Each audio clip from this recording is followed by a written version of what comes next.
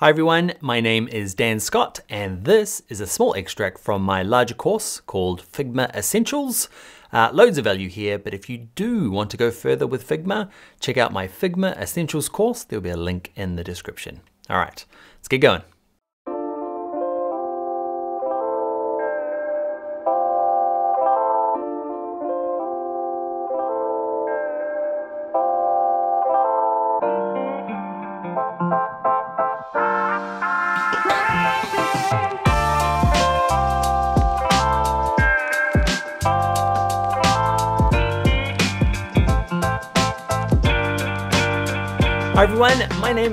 Scott and welcome to Figma Essentials. Together, you and me are gonna learn everything we need to know to get started as a UX designer in Figma.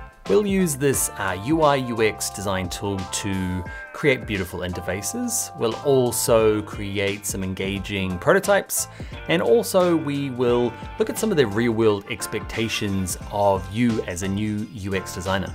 Now this course is aimed at people who are new to design, new to user experience design, even if you're not even that entirely sure what UX design actually is, don't worry, we're gonna start right at the beginning and work our way through step by step. First, we'll describe the brief and how to work with a UX persona. Then you'll learn how to create really simple wireframes. From there, we learn how to implement colors and images properly in your high fidelity mockups. You'll learn the do's and don'ts for choosing fonts for web and mobile apps. You'll learn how to create icons, buttons, and all sorts of UI components. You'll learn all the scary terms like component sets, constraints, and multi-dimensional variants. They're all very easy once you get to know them. We'll also make our lives easier by using free UI kits and plugins for Figma to speed up our workflow. We'll build a simple style guide ready for colleague or client handoff. You'll know how to make both simple and advanced micro interactions, page transitions, and animations. Before the end of this course, you'll have fully interactive prototypes ready for user testing, all the way through to collaborating with other team members and exporting the right files ready for handoff to your developer or software engineer. You've got assignments that I set throughout the course uh, so that you can practice and develop your skills, plus you'll have something unique for your portfolio at the end. All right, it is time to upgrade yourself and go from Figma Zero to Figma Hero. So sign up and I'll see you in class. Now, the shirt. This shirt made a whole lot of sense. It makes a whole lot of sense later on when you know Figma a little bit more. But at the moment, I've realized it's come across a little bit, probably just creepy. But it's made now and we're gonna have to live with it. So sign up to the course. I'll see you in there. Hello, you made it in. Congratulations. Uh, welcome to the course. Uh, first things first is you need to download the exercise files. There is, uh, there'll be a link on this page here, download those. Uh, in those exercise files will be the files we'll use for the course, but also there'll be a shortcut sheet. Okay, we won't go too deep into mad shortcuts here, but um, there are just some super useful ones that you'll need to know by the end of the course. So print that sheet out and you can circle the ones you really like. Um, also, you need a version of Figma. Okay, so Figma, go to figma.com, either use the browser version, so sign up, use the browser version, or download the desktop version. There is absolutely nothing, you know, no difference between the two. I'm going to use the desktop version um, because I'm old and I like things being on my desktop for no good reason, because they're exactly the same. So it doesn't matter. You'll also know from only watching a tiny bit of my video that I talk fast. I've had a lot of coffee. It's early. I, I do slow down. Okay, but if you find that I speak very fast, okay, um, or maybe English isn't your first language and you find my accent a little tough, um, there will be, on all the videos, there's like a little cog, where is it, down there, and you'll be able to click that and slow me down to a slower version. I sound a little weird, but it's, it, it might make it easier for you. Um, and that is it. Ah, free version, paid version. Um, we are going to use the free version for most of the course, mainly because it's amazing. Like it's amazing what Figma have decided to allow it to be free versus what is paid. Towards the end of the course, I will show you why you might want to jump up to the paid, but you can get quite far as like a professional designer using the uh, free version, but I will show the perks for paid later on. Also, uh, Figma is always updating, which is amazing to me as a designer. It means new features come out all the time. They rejig things to make it simpler and easier and include more advanced features. It is really painful for me as an instructor uh, because basically, I, I know this. As soon as I finish recording this course, they're going to go and shuffle some bits around. So uh, keep an eye out for that. Um, if it's fundamental stuff, I'll re-record the videos. If it's just small stuff, just take a look. Uh, often it could be just a name change. It's in the same place, does the same job, but maybe they've called it something else or clarified it a little bit. Uh, also check the comments below. Uh, either I'll leave a comment if it's just a small change or other students will as well. So just keep an eye out on that. Yay for lots of updates. Boo for lots of updates. Um, all right, let's get on to the next video.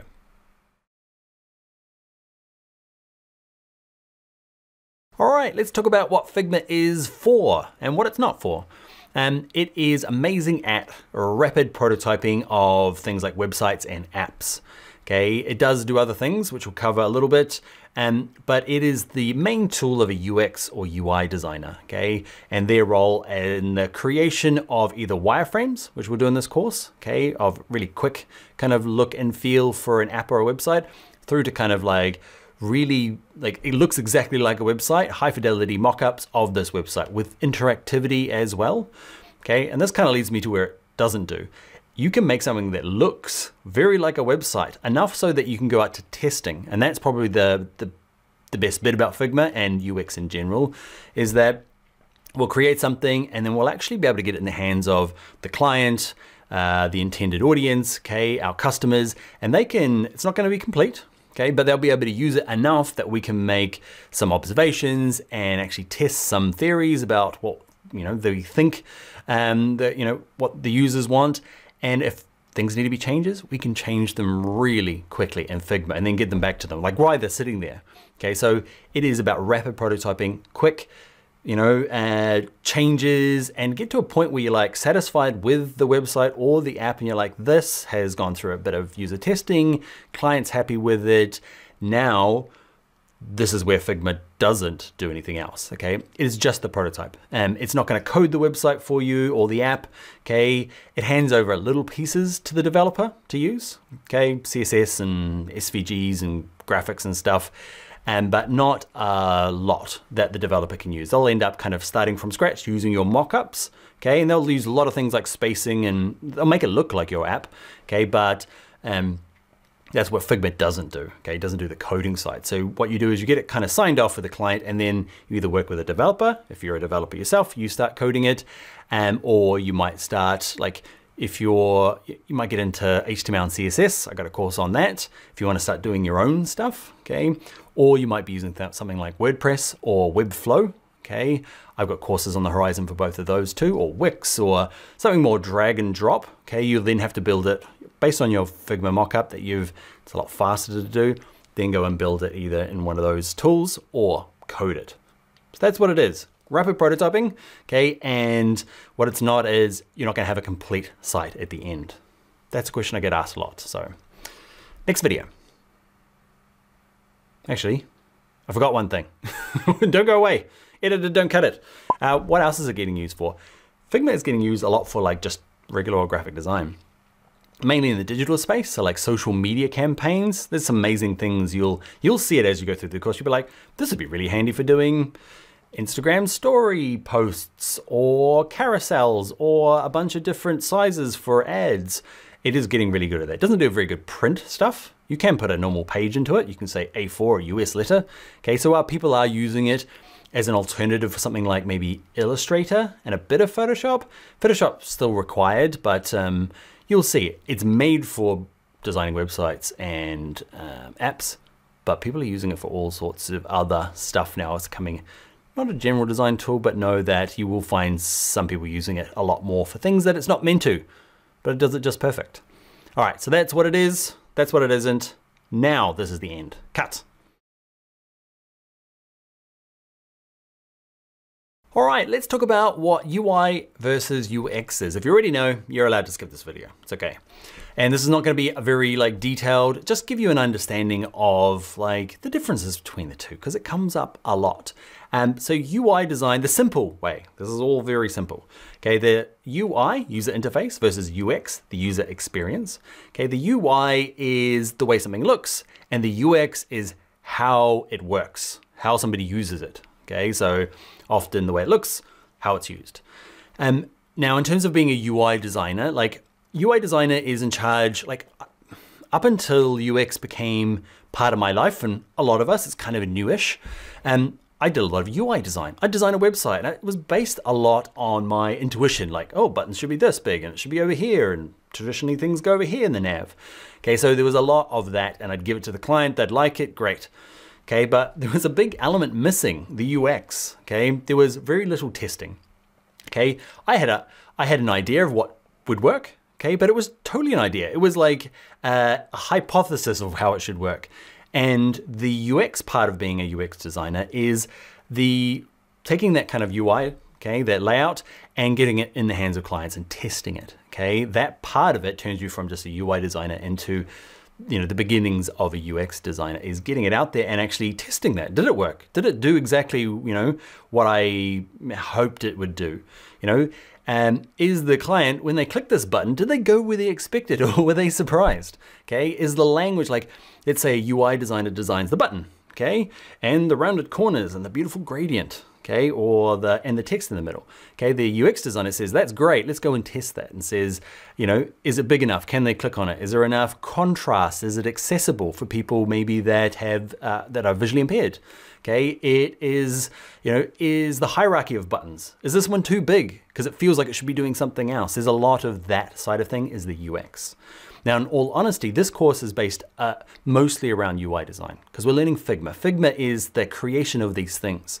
The testing side of stuff, I'll give you a, um, you know, some some insights as we go along about what I would do at different testing phases, okay? But it is broader than what can be covered in this course, okay? But we'll do UI with a little bit of UX, okay? But Figma basically is we're learning software. That's why you signed up, probably.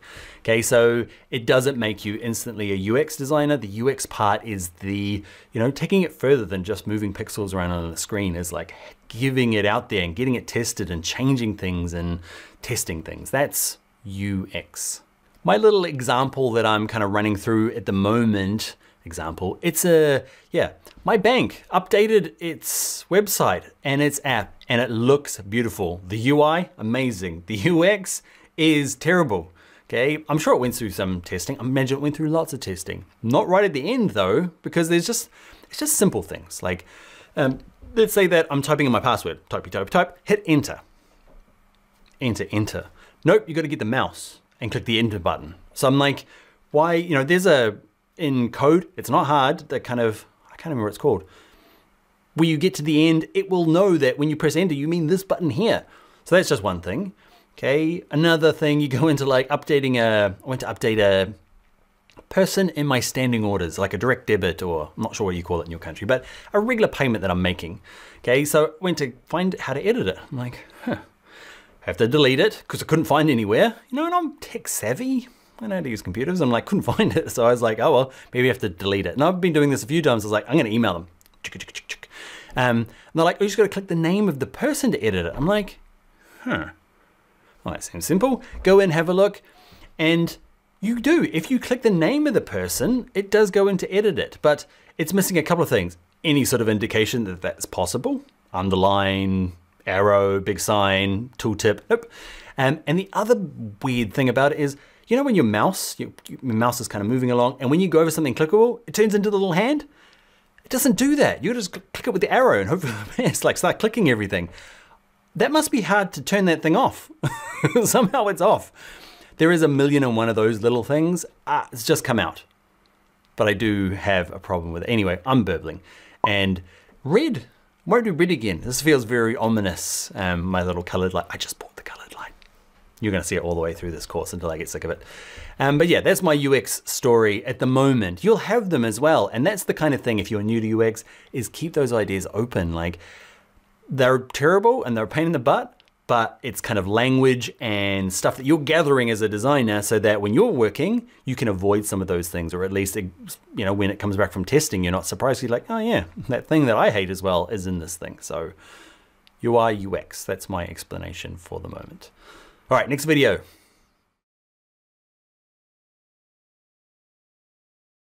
Hi everyone, in this video we're going to look at what we're making. Okay, we are going to start making some wireframes initially. Okay, then we will make some high fidelity versions, okay, that look a little prettier. That one's actually pretty messy. Let's look at this one here. Okay, see the screens down the bottom. Okay, so we're going to work on these. We're going to build styles, components, all sorts of goodness. Let's have a look at one of the mock-up versions. So yeah, it's uh, this is going to be what we make. We'll design it, we'll add some interactivity, we'll make a form, people can purchase stuff. It's gonna follow our brief, both our persona and our task flow. So let's talk about what those things are. So we are going to focus on the software of Figma, but I will throw in some kind of general UX design advice for people that are quite new. So what are we working to? We've got a company called Scott Headphones that wants us to design a few pages uh, for this task flow. The task flow here, in this case, is they want a home page that uh, goes to some features about the product.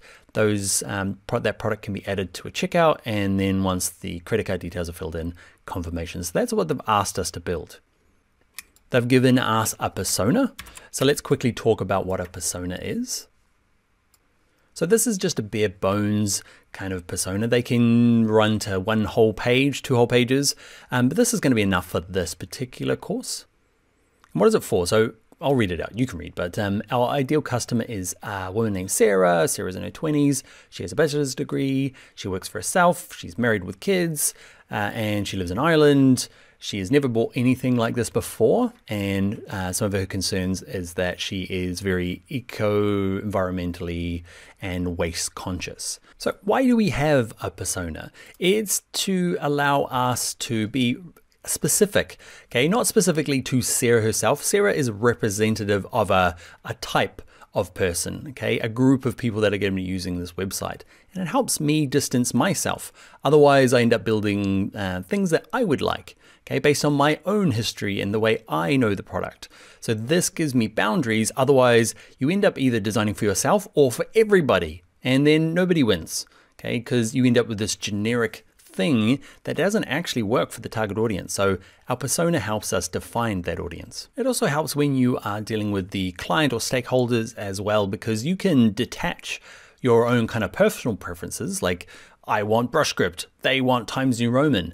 But what does Sarah want? Like, we need to have empathy for her and her situation and her experience with the product. And it does, it helps with those conversations to be separated from what Dan likes as the designer, what the client likes as her or himself. And let's talk about what's right for Sarah. And that's through to like uh, color, fonts, uh, language, types of imagery, organization of information, like what features should be shown earlier based on you know some of the preferences she has and some of the knowledge of the product. Now this is just like a super quick overview of Persona. It's a we're kind of learning UX design here in Figma. Okay, a UX researcher okay will spend a lot more time and potentially produce uh, you know a lot more documentation around and understand Sarah a lot more than kind of what we've done here. So I guess I, that's a kind of a broad overview if you're new.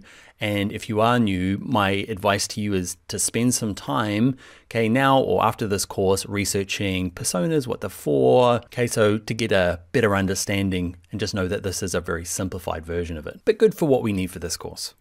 Now, TaskFlow, if you haven't heard of it before, okay, TaskFlow here, we've been given, uh, instead of designing all of the mobile website, we've been asked to design a certain kind of important critical feature. Okay, so we have to design this homepage, shows the products, uh, or the product features, a checkout page, and a confirmation page. So this is a nice simple task flow. They can be a bit more complicated. Okay, they can be less complicated. It might be like, uh, you know, task flows could include things like how, you know, how does a person cancel this product? What is the process there? Okay, you might be designing the cancellation process. Maybe it's the sign up process. Maybe it's how to change your password, how to download or upload a document. It might be a specific thing that needs to be done on your particular app or website. So let's consider it a task flow. And also, actually, let's throw in this other term, kind of his buddy. So task flow versus user flows comes up quite a bit. Okay, um, there's this great article here by Erica Hirano. I'll put a link on the screen here, but um, after this uh, video or after this course, do spend a bit more time understanding these, but I'll give you the brief rundown. So basically task flow, let's have a look. They've got the pancake task flow. So I'm gonna look at this finding a recipe version. Okay, very simple, kind of like what we're doing in our course.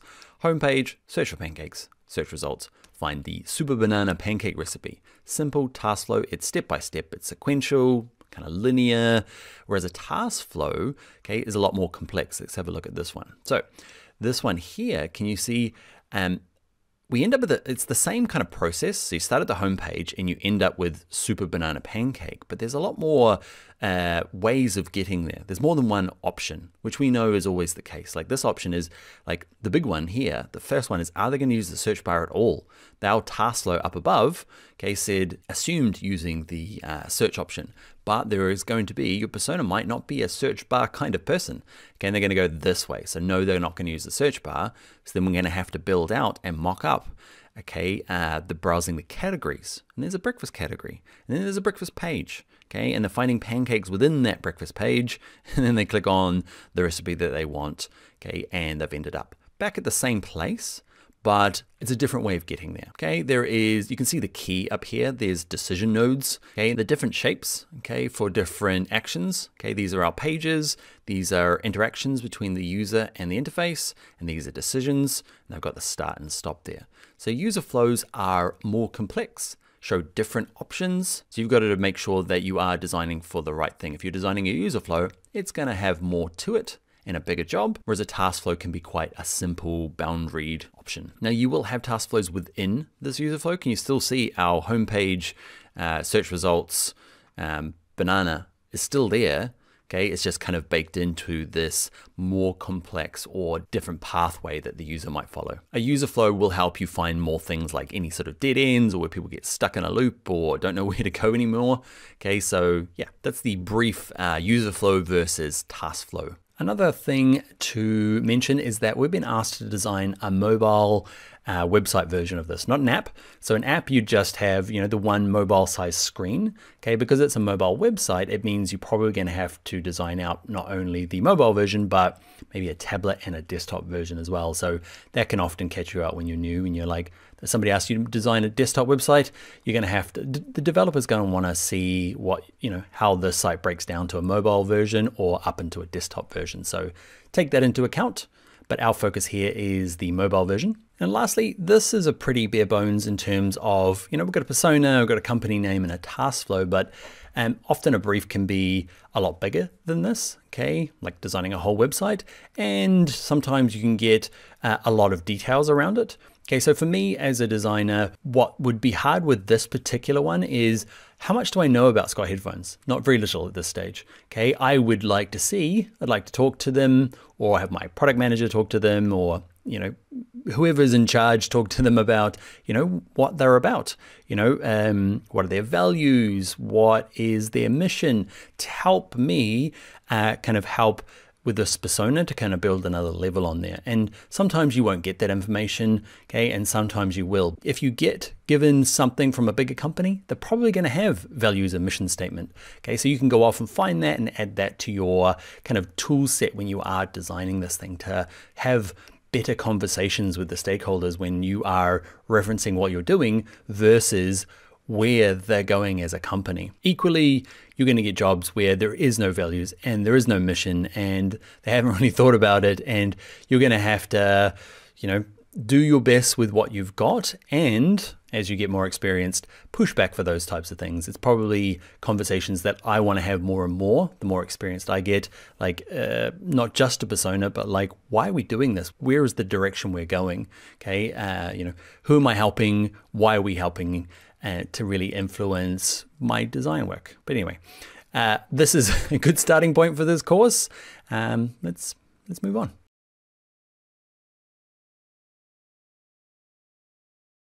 Hi everyone, it is time for your very first bit of home. We're not going to call it homework. We're going to call it uh, class projects. They're here to, you can ignore them. You totally can, but it will really help you solidify what we've learned.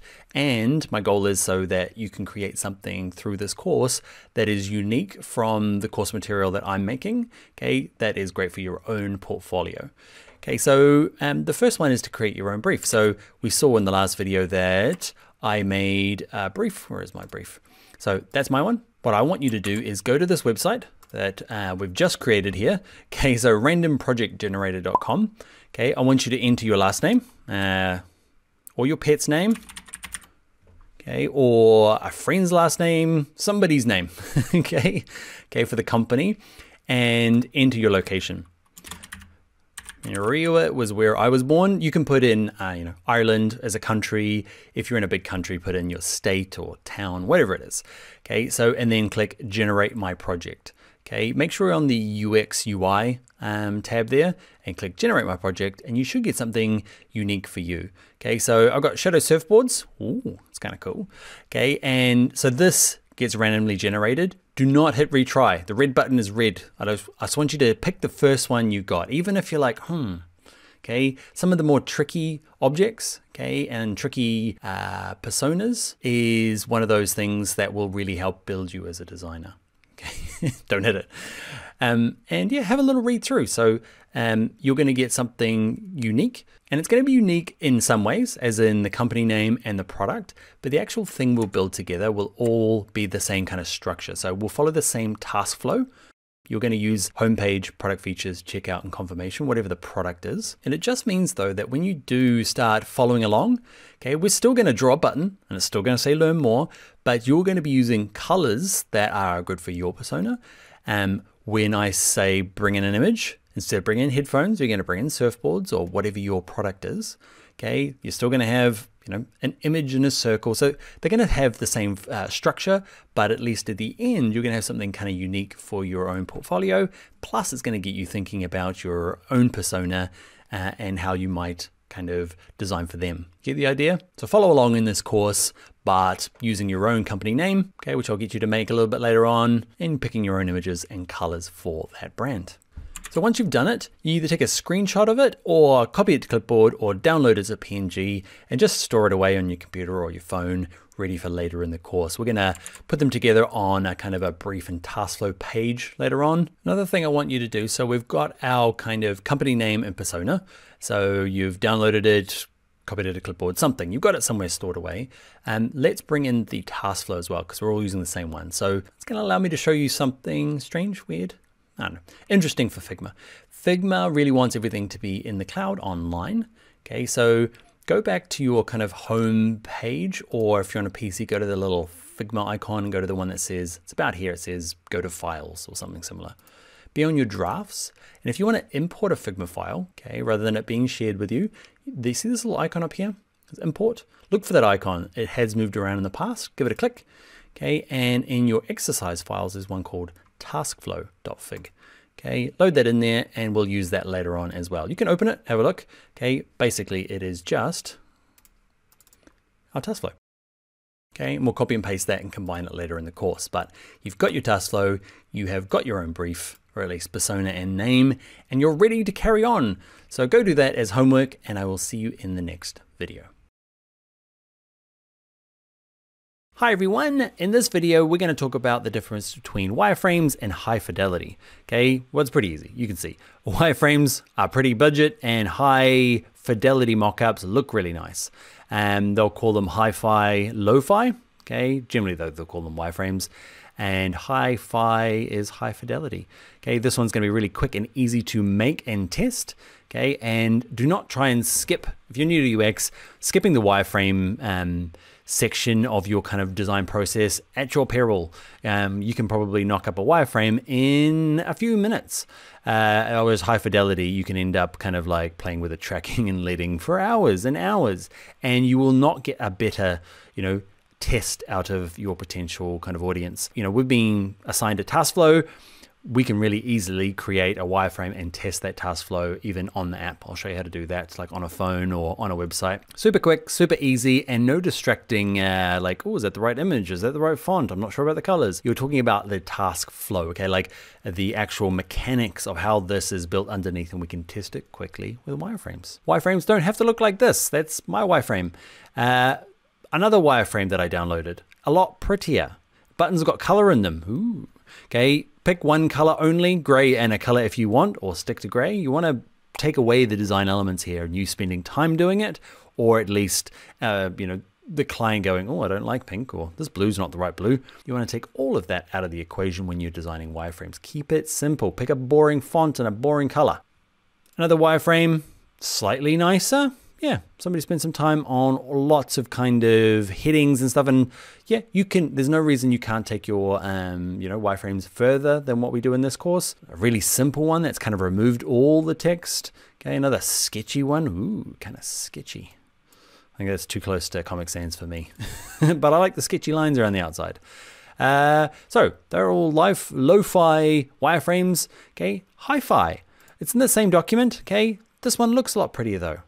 Okay, this one here, another hi-fi. A lot more time and effort going into this one. But for testing, you only need the basics, so that's why we're doing wireframes. And you have to do it because that's the beginning of the course. We're going to learn lots about how to use Figma, building the wireframes before we start building our super beautiful things a little bit later in the course. All right, let's actually get started with Figma and do something. Okay, so let's make our first uh, design file. So mm, it can be a little confusing for this first screen. Yours is going to look different from mine because they change this quite often. If you have nothing like mine, you might go up to the top left hand here and click on the little drop down. If you're somewhere else, you might have to click on the home button first and then this little drop down. And what you're looking to do is to click on your name. Mine will be a bit blurry here because it's got my email addresses as well. But click on your name, not community, click here, and you should get to something resembling my screen. What we want to do is a new design file. That only appeared the other day. Um, so what I've normally done in the past is I go to, we're going to create a drafts, okay, and it's this little plus, it's kind of next to it. Okay, so either way, we're making a new design file. Okay, and there we go. All right, if you're brand new, I've kind of reset my Figma, so all these little pop-ups. You can show stuff. I'm here to show you, so I'm gonna cancel that. You end up with this big nothing screen. So we've got our design file. Okay, now we need to introduce frames. Frames are these guys here. It's this uh, little icon here, third one in, click on it. Okay, and you can draw out any size frame. Think of a frame as a page. Okay, so if we're drawing an app, we're going to draw something kind of like, oh, go back to this tool here, draw out something that looks like an app. You can have multiple frames, okay? All sorts of different sizes. Desktop one, tablet one. So frames have many uses, okay? But at this early stage of the course, think of them as a page or an artboard if you're from Adobe land. And what we need to do is delete them because those are random sizes. Click anywhere in the inside of them, hit delete. Click them, delete them. All right, so go to your frame tool and actually let's be a little bit more uh, specific with our sizes. Okay, over here you'll have some pre-made sizes. Okay, you are going to be in the future, so you might be at iPhone 52. Okay, I'm going to use iPhone 8. It's a nice generic size for both uh, Android and Apple. Some of these big ones get a bit big and strange sized. Now the goal here is to pick a size that is generic, okay? We're not going to design every different iPhone in different size. We're going to design something close enough to the general purpose phone and our developer will build something that is a bit more responsive and we'll, we'll adjust for the kind of small changes in different pixels. So pick a phone size that is quite generic. It's easiest just to Google like most common phone size, um, you know, and you will get something or most common desktop size, okay? And you will get something in here and pick it. If you're designing a watch, if you're doing kind of just regular old, old school paper, the wood stuff, okay? There's all sorts of things in here. So yours will be different. Now, I'm going to start with phone and I'm going to start with iPhone 8, even though it's really old. I don't know why it's still in here. Hey, it is, but it's a good generic size. 375 pixels I like. You can adjust it afterwards. Here's your frame. Okay, and you can say, actually, the new size is not even listed there. I'm going to use 400 and just type over the top. I'm going to undo that because iPhone 8 is perfect for what I need. And again, if you're watching in the future and there's no like iPhone 8, you can type in this, uh, 375 667 to get the same dimensions, but hey, go with whatever is common for you right now. The The other thing I tend to do is I try and at the meeting figure out what kind of phone my client has because they're going to be potentially testing it on their phone. Okay, so I want to make sure like if they've got some sort of phone, I might use that just so that it, the mock-up works really great on their phone. So we're going to end up with naming loads of these frames because mm, iPhone 8, 1, 2, 3, 4, 5, 6, 7, 8 is not going to help us. So we're going to double click on the word up here or you can double click over here in your layers panel. If you can't see the layers, you might be on assets. Okay, double click it, either one, and let's call this one. Remember our task flow. Okay, we've got, we're going to have our marketing page. We'll call it the home page, home page slash um, marketing page. We want another one. So you can go back to your frame tool, click on iPhone 8 again, you'll get another one and just keep going the way through. We're not gonna do huge amounts of shortcuts in this course, but we're gonna have to learn a few. The first one's gonna be spacebar. So hold down spacebar. It's pretty common in lots of design programs, right? And click, hold, and drag. Okay, and I'm gonna name it in this one. So remember our task flow is marketing page, then product details, Another shortcut that we use quite a lot is you can just copy and paste these frames. So just click the name, Command C on a Mac or Control C on a PC, then V. So Command V, we got another one, Control V on a PC. Okay, up to you. I say no shortcuts, and I start with lots of shortcuts. Uh, let's put in our four pages. So our task list said we're gonna do that. Product details. What else was there? Was a checkout. Okay, and uh, copy paste, spacebar, click and drag. We are going to do our confirmation. Cool. So in the same document, there's no reason why you can't then go, actually now I want my desktop version. Okay, so I'm gonna click on frame. I'm gonna say tablet, and I'm gonna say we're gonna be designing for the iPad Pro 12, because that's the one I own. Okay, and over here, landscape, portrait. Let's spacebar across, landscape, portrait. You can move them. Okay, I'm gonna click the name, you drag the name, spacebar around, drag the name around.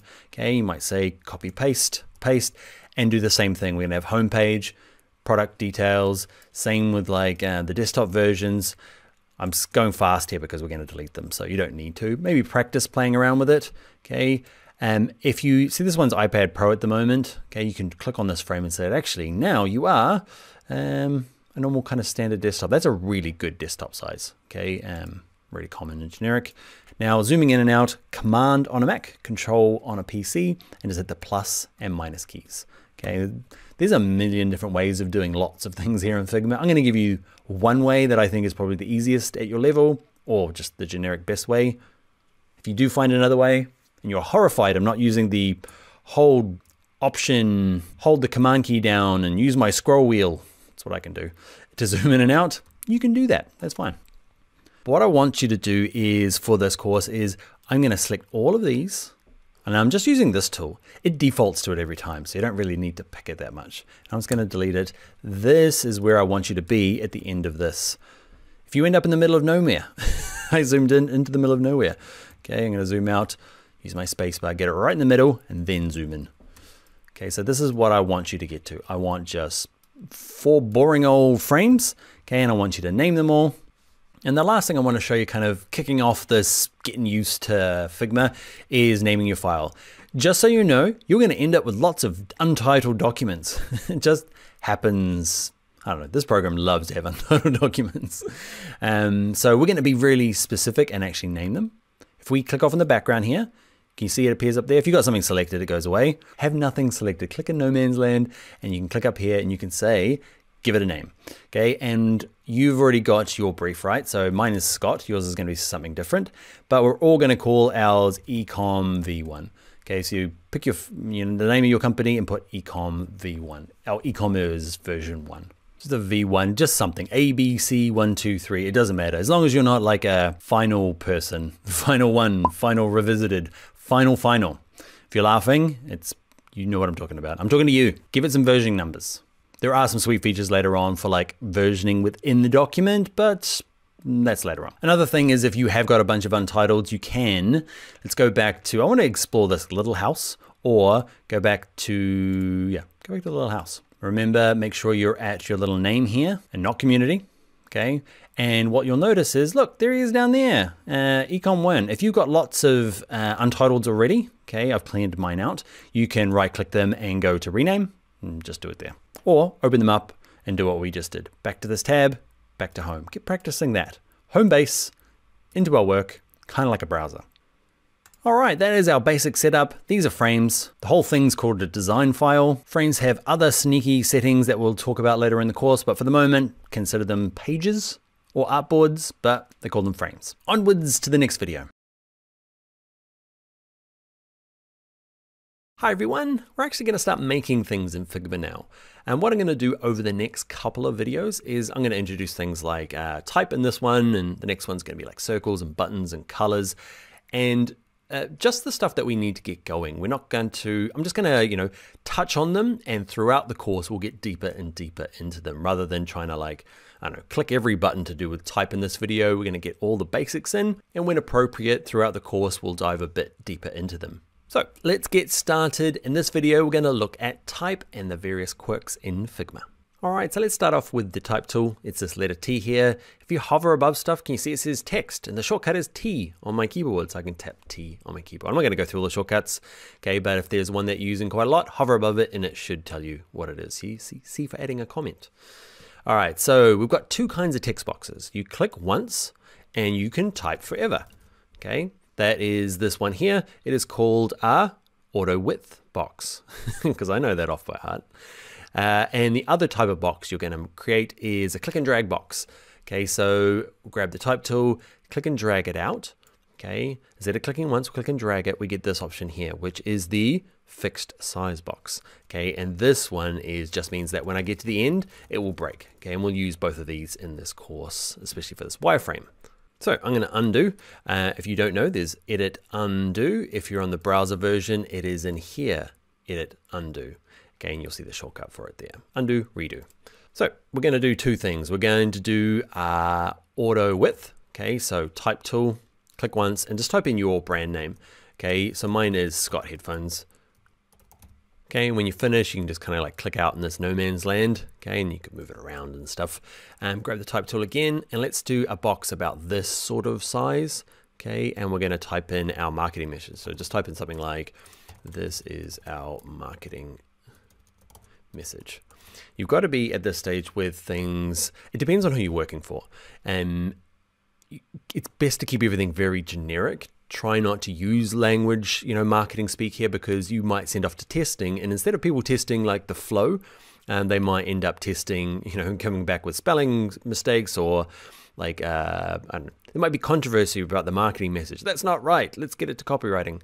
Okay, so at the moment we're just going to keep everything as simple as we can to take out any sort of variables for our testing, just so that we're focused. Now you can switch these later on. Let's say that this one here we want to actually make it that auto width. Okay, so we can click it here. Same with this one, we can make it a fixed box. And the difference now is, watch this when I start typing, okay, kind of blows out of the box and it's got a fixed width. So you can change them later on. I'm going to hit undo a couple of times.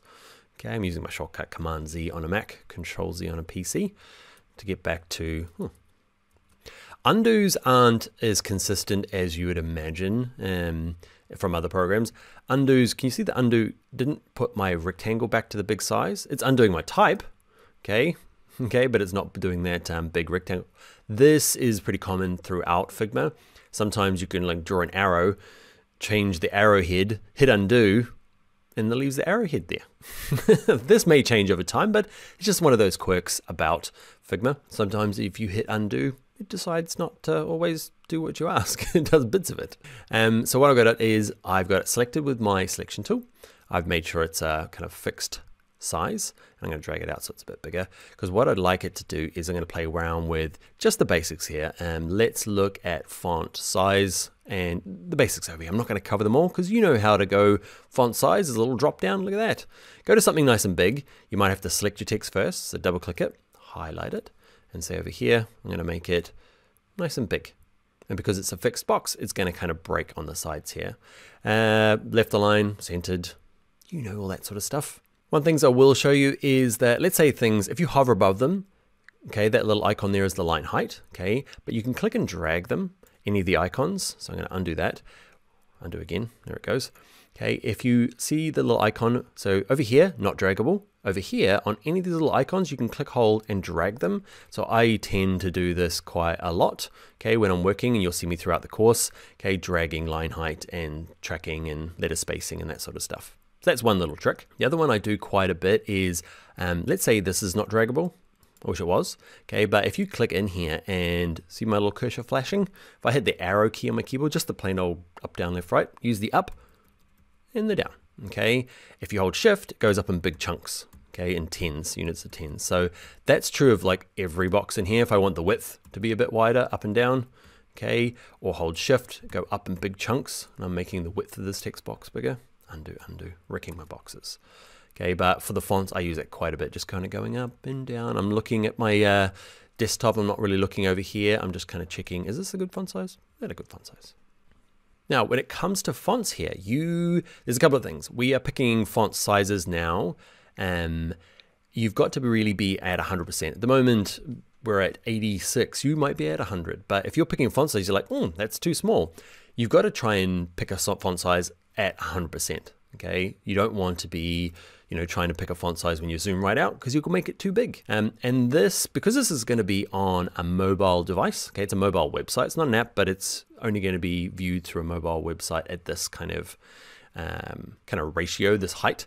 Okay, it's best to be actually picking font sizes on your phone. Okay, I'll show you a little bit later in the course, not too far. We're going to actually preview everything on a device. Okay, so don't be spending too much time on you know, mm, deciding, what was it, 12? Should it be 16, 14? Actually get it onto the device and start looking. All right, the last thing I want to share with you when you are kind of at this font picking stage, especially for a wireframe, is I want you to pick a not font, a font that has zero character. I feel bad because this is Roboto. Sorry, Roboto, you have zero character.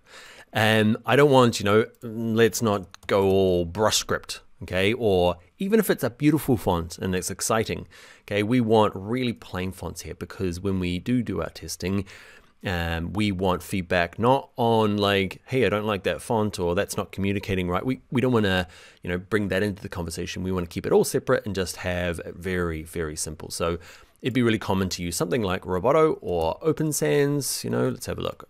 Roboto, Open Sans, what's another one? Source sans source.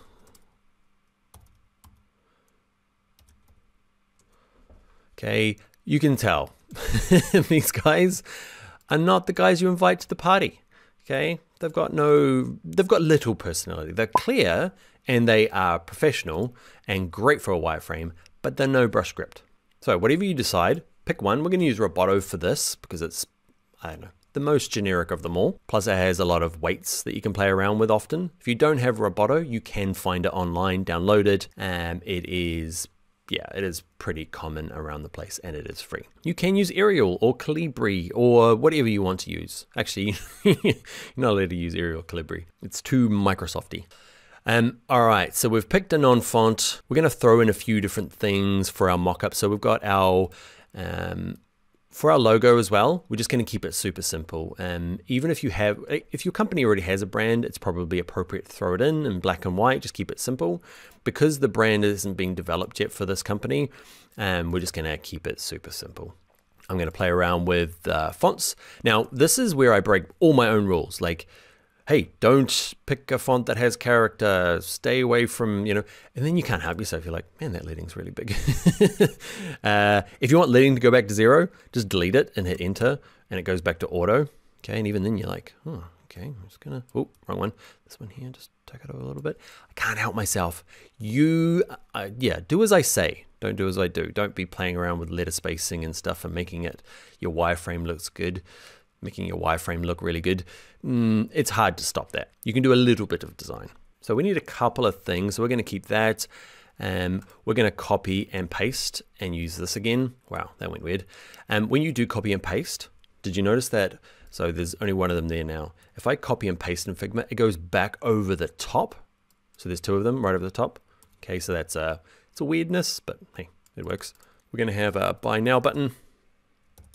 Buy now. Now, I end up duplicating instead of copying and pasting. You may or may not do this on a Mac. You hold down the Option key. You see the little arrow? It's a little double double arrow there. On a um, PC, it is your Option key. So if you do that before you start dragging, so Selection Tool, hold down that key, Option or Alt, drag it out, and you get a second one. Figma is really good at lining things up. Can you see? Oh, so handy. Okay, we've got a Buy Now and a Learn More. Okay, we are going to go centered for that one. I need another one up here. That's going to be my product shot. I think that's all the text we're going to do for this particular mockup. All right, so we will go into a little bit more text detail later on, but it, see this little dotted line down here? This is where you get into the, it's pretty amazing how deep it does go. If you're a designer who loves a bit of, loves a bit of, loves a bit of ligatures and all sorts of amazing things, you can see alignment, not that exciting. Decoration, underlines, strike throughs, nothing. Okay, so there's a lot. Bullet points are in here. You can start doing uppercase, lowercase. I won't cover them all. Okay, we will look at little bits throughout the course, but here's all the, if you really want to get into stylistic sets and man, it gets deep. So it is, most of it's just sitting here in your kind of right menu. They call it the right panel. Sometimes they call it the properties inspector. This thing here on the right, okay, you can get most of it just here. This little dotted line gets you a bunch more. All right, we've actually made something. Kind of. a bunch of boring text. Let's get into the next video and make some ah, boring rectangles and buttons. I'll see you in the next video. Hey everyone, this video we're going to draw some rectangles and some circles and some rounded corners. Very exciting. Let's jump in. All right, let's first of all put in our kind of product shot. We're going to put in a placeholder image for that. Okay, I'm going to use my selection tool, just click and drag over a bunch of them. Okay, and then I can drag it down. So I've got a bit of space. Okay, let's grab the rectangle tool. It's one of those ones that you'll probably learn the shortcut for. And they're all hiding in here. See rectangle, lines, all the kind of basic shapes. Okay, so R is for the rectangle tool, which makes sense. Okay, so I'm gonna click, hold, and drag it out, and you get the big gray box. And you'll notice our text disappeared. Okay, so this brings us to layering. Okay, so over here, if you can't see it, you might be on assets, go to layers, you'll see there's my home page frame. Okay, and inside of that are all these different things. Okay, all the different ticks we've added. Now we've got a rectangle, but it's on top. So we can do a couple of things, right click and say, send to the back, please. And it's just that shortcut. You'll learn that one quite a bit as well. Learn the different shortcuts at your level. You might be ready for shortcuts, you might be not. You might be freaking out. so just right click and say, actually send to the back. Or I want you to practice. I've undone that. Can you see here? I can drag this, kind of like more like Photoshop. I'm holding it, holding it, dragging it. Now it's at the bottom of all those guys, and I can see it. Easy. I'm going to undo it and show you just one more painful way, mainly because there is a ton of ways of doing everything in Figma. Okay, and I'm going to show you the way that I think makes most sense for your level and what's really common and useful. But if you find a different way and you're like, hey, why didn't he show us that way? That's heaps better, okay? If you find it and you like it, you can do it, okay? But let's say this one here, see this little Figma menu here? If you're on a Mac, you've got this top bit along the top here, which is exactly the same as edit, where is it? Uh, arrange, you can see how, uh, no, I don't want to arrange, object, there it is there. You can see how much I use this menu, not very often. Okay, so you can, on a Mac, you'll see these along the top and they will correspond. See file, there's file, edit, there's edit. So often I use these ones along the top here, but I know if you're using the browser version, these aren't there. On a PC, these aren't there.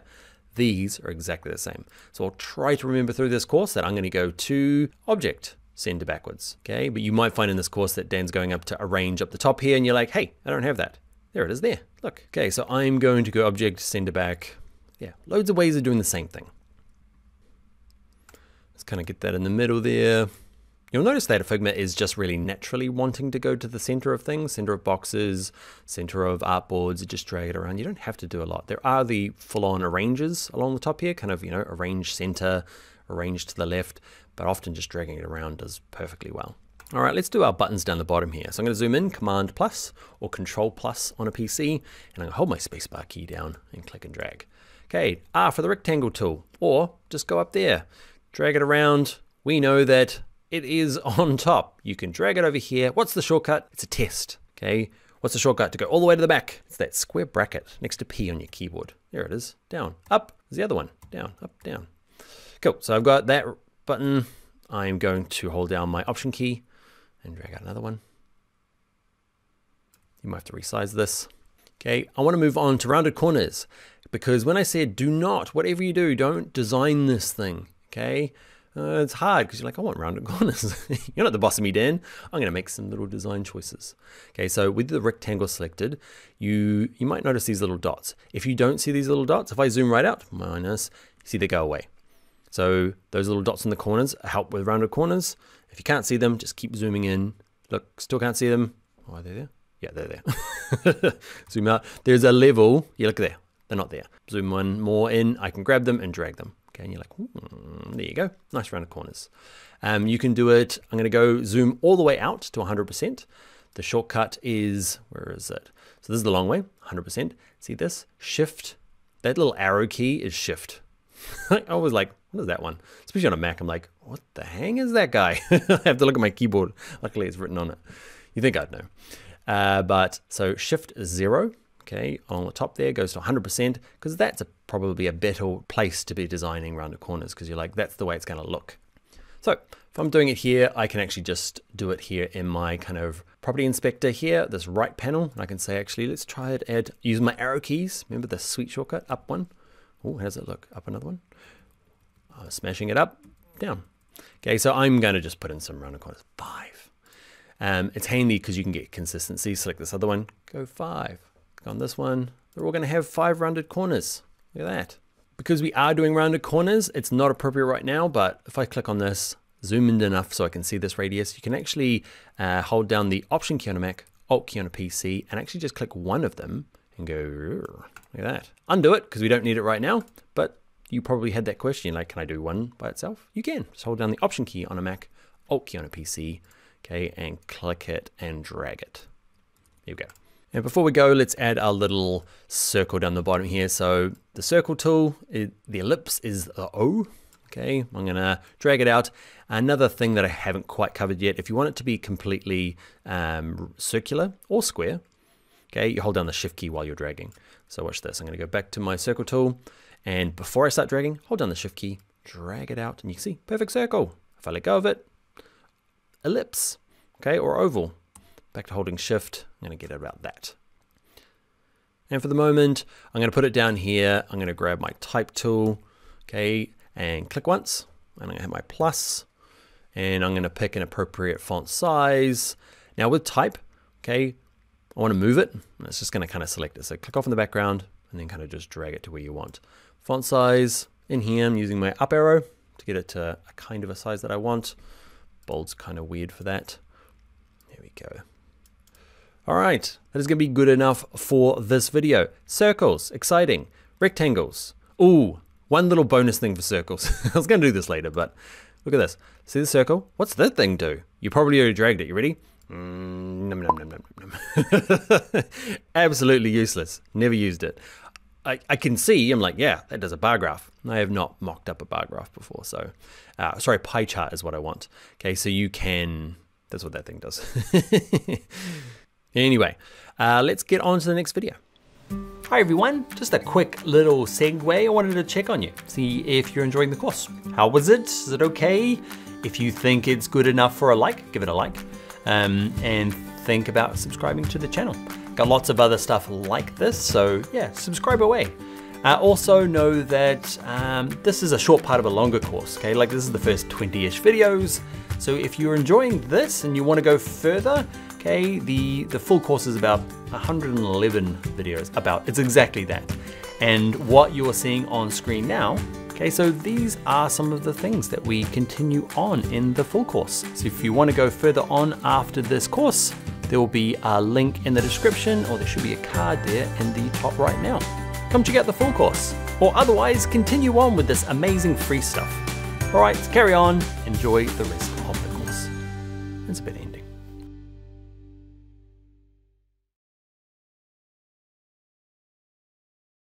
All right, I hope you're sitting down. This video, we're gonna look at color. You ready? Steady? Boom. It's green and black. It's not very exciting, I know. I'm going to try and convince you that you don't need a lot of colors when it comes to your wireframes. You should probably leave it gray, but hey, we're learning about color in this video. Let's jump in and I'll show you what you need to know. All right, to work with color, um, select on something. We're gonna use this big, uh, big rectangle here.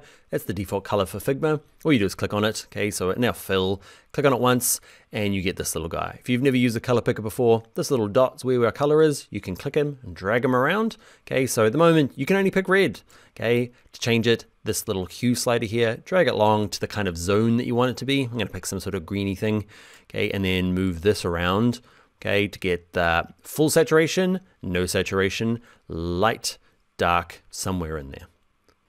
Okay, other things you should know about in here, if you want full white, just click, drag, and drag it like past you know, like just keep going and it'll be full white. And either of these dark ones down the bottom are going to be the same. Okay, so white, black, or that one is black, doesn't matter. And I'm going to pick some sort of light greeny color. So you could pick it from the brand, okay, or just pick like light blue is probably the most common kind of, you know, wireframe color.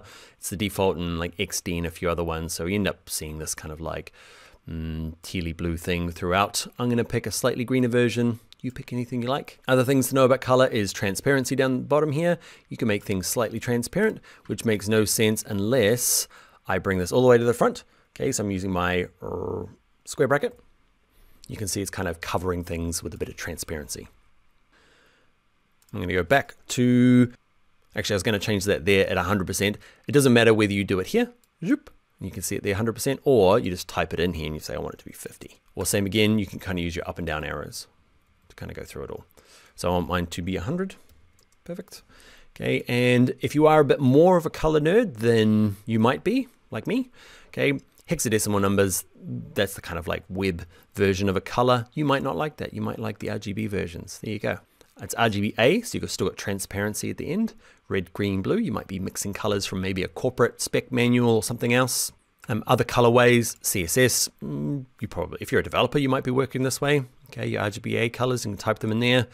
Um, hue saturation luminance, I don't often use, I use this quite a bit. Hue saturation brightness.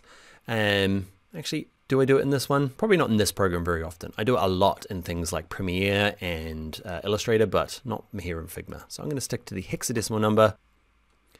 Other things I want to point out is the eyedropper. So we've got this here. I want to steal this color. So I select on it, go to my fill color, click on the little eyedropper, and you'll notice, can you see up here, there's like a zoomed in version. And watch this, I can move it around. Can you see it just zooms in on things? So it's you know, ours is pretty easy because we can pick this big rectangle, but sometimes you're trying to pick a teeny tiny bit of color from like that bit. It's going to be that weird light gray. Okay, so eyedropper, I'm going to click on this one. Same with this fella. You, eyedropper, you. Now to get to that eyedropper, very often I won't be going into the color and picker to do it. So I'm going to undo to get my grays back. So I select on it. There is the shortcut for I, for eyedropper like I, not E-Y-E, the letter I, okay? It's a shortcut. So selected it, hit the eyedropper, click on that. There's a lot of that going on. However, you want get that, this, all the same color for me. And be resilient. Don't try and add a bunch of colors. Okay, keep it really just black, grays, whites, and you know, a color just to sex it up a tiny bit. Okay, when you start adding color palettes to it, you again start entering different parts, uh, you know, to the conversation about, oh, is this the right color? Is it the right brand color? Just keep it generic. Keep it gray. Then nobody's going to complain. And last thing about colors is um, down here, can you see document colors? You're like, oh, great. Those are the colors that I've used already. Okay, so this though gets mad big and not very useful. Um, it's fine for the moment because you're like, okay, I want to go back to that gray that we had before. There it is there. It's something that's been used. Okay, or there's that green. Is that the green? It's the same green. It gets, yeah. Later on, we're going to look at this and we're going to look at team library colors. It's quite later in the document. Plus, we're going to look at something called color styles in the not too distant future, where we kind of tidy it all up and get a bit more consistent. But document colors will show everything is being used in this document. So it gets a bit mad, but that's what they are. All right, that's the basics of colors. Let's jump into the next video. Actually, we're going nowhere. It's driving you mad. It's driving me mad. you can't do that, Dan.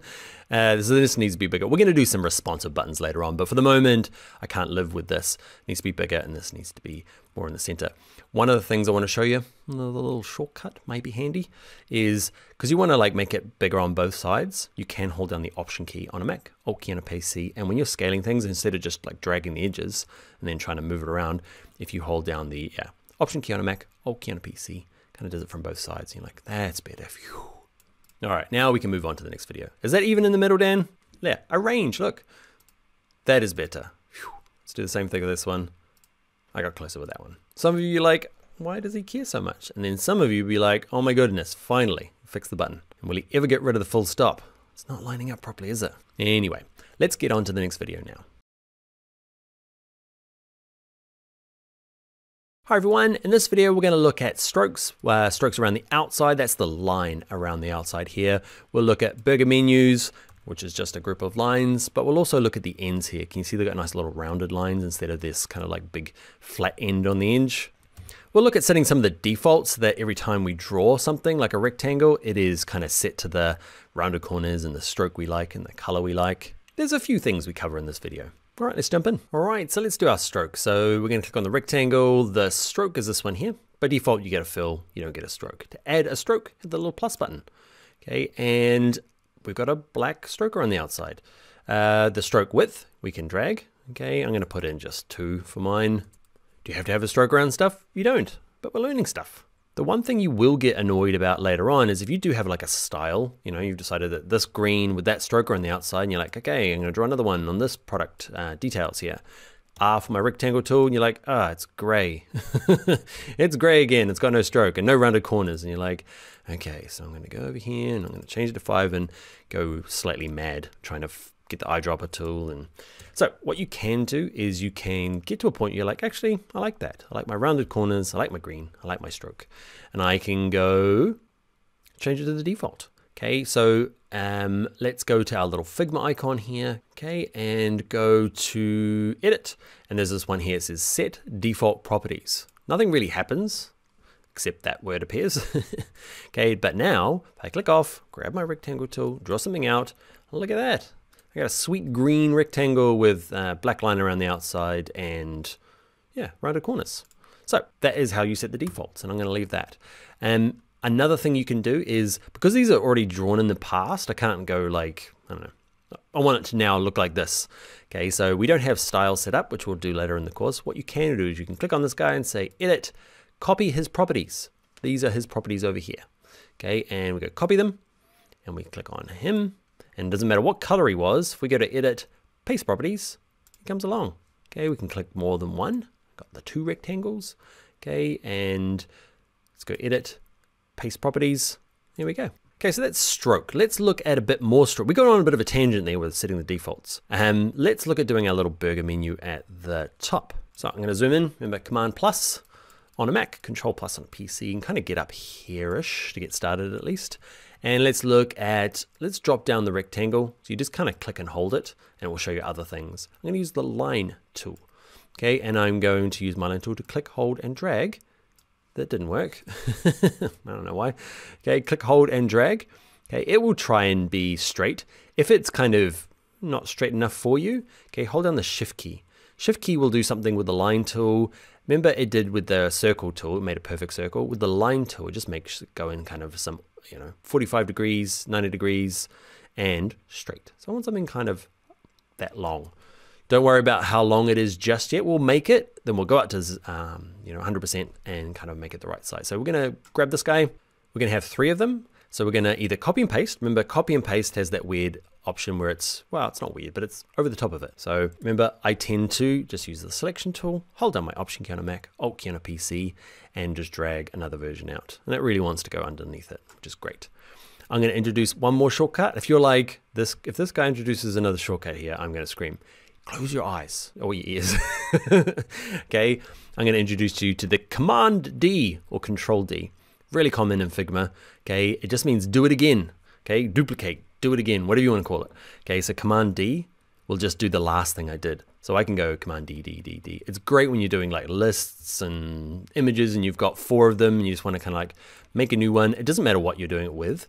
So let's say I want some type and I'm making a list, drag it out holding my Option key on a Mac, Alt key on a PC, Command D, D, D, D, D, or Control D, D, D, D, D on a PC.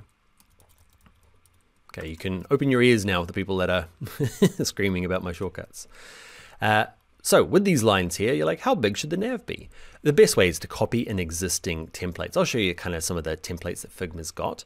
Okay, but if you are building stuff on your own, especially things like icons, it's best to be, remember, at Shift zero, okay, or at 100% up here, so that you've got a good sense of the size, okay, because if you have them like this, they're going to be very hard to click, or if they're going to be big jumbo ones, it's just not that fun. well, they don't look like they should. So I got lucky with mine. I think mine are appropriately sized here. So what you can do is just drag a box around them all, grab the corner and scale them to what you think they should feel like. That feels good to me. Okay, and I'm going to put them in a kind of appropriate position for a navigation. So it's called the burger menu or the nav sandwich. Okay, uh, that thing you click that gives you all the sort of options. Really common in the top right, but can appear in the top left as well. So let's look at a bit more strokey goodness. So I'm going to zoom in on it because I want the little bubble ends. Now, um, over here, my stroke, the stroke weight we've talked about, okay? So start and end point. They do two things. Click on the first one. You can put an arrow at the end. That's great. If I hit undo, it doesn't go away. Maybe this is just on my machine. I don't know why. Undo, undo. That's one of those quirks. I'll leave it in this course because it's a weird quirk. Is it just on my computer? No, I think it's universal, but it, it's probably going to be gone in the future. It's one of those updates where it's on somebody's, some developer's bug fix list. It's not super important because I can go back to none, but my undo doesn't turn those off. We've gone off on a tangent. Let's stay on point because I want to show you these. And there's three options. So your stroke at the moment just finishes right at the end. Can you see there? The second one, I'm going to go, this stroke has a rounded end. And that is the pretty one that I want. Okay, so it's the stroke still ends there, but there's this like little round. That's a butt cap, that is a round cap, and this is going to be a square cap. So this one here, look at the difference between this top one and the bottom one. The stroke is the same size, okay, underneath, but this has got like a big square cap on the end. This has got an unfortunately named butt cap, and that has got a nice round cap. That's what I want. I want all you guys, you'll see mixed quite a lot if you've selected stuff and it doesn't know what to say. Instead of going question mark, I'm confused, it says mixed, okay, which means one of them, there are all sorts of different things. I'm going to say you're all round, which only partially worked. Oh yeah, we're going to do the end as well.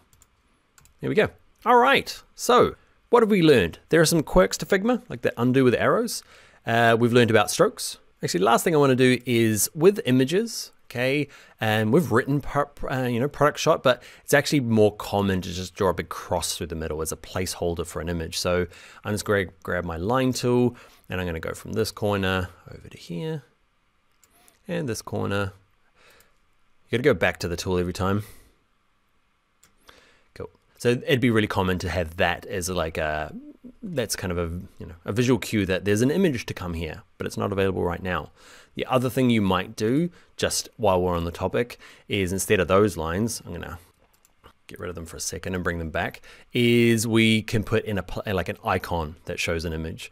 So a really common one for this is an icon, I'll show you it. Um, so it's in your exercise files. So how do you bring in an image, okay, or an icon? Um, you can go up to, there's a couple of ways. Um, there's this way here, okay, so it's weird. Under your rectangle tool is where you bring in images as well. So I can place an image. There's the shortcut. The other way is under Figma. You can go to Edit, no, File, Place Image. Use the shortcut quite a bit. But um, I'm going to bring in an image. Under your exercise files, under icons, bring in the one that says icon image. Okay, and click open.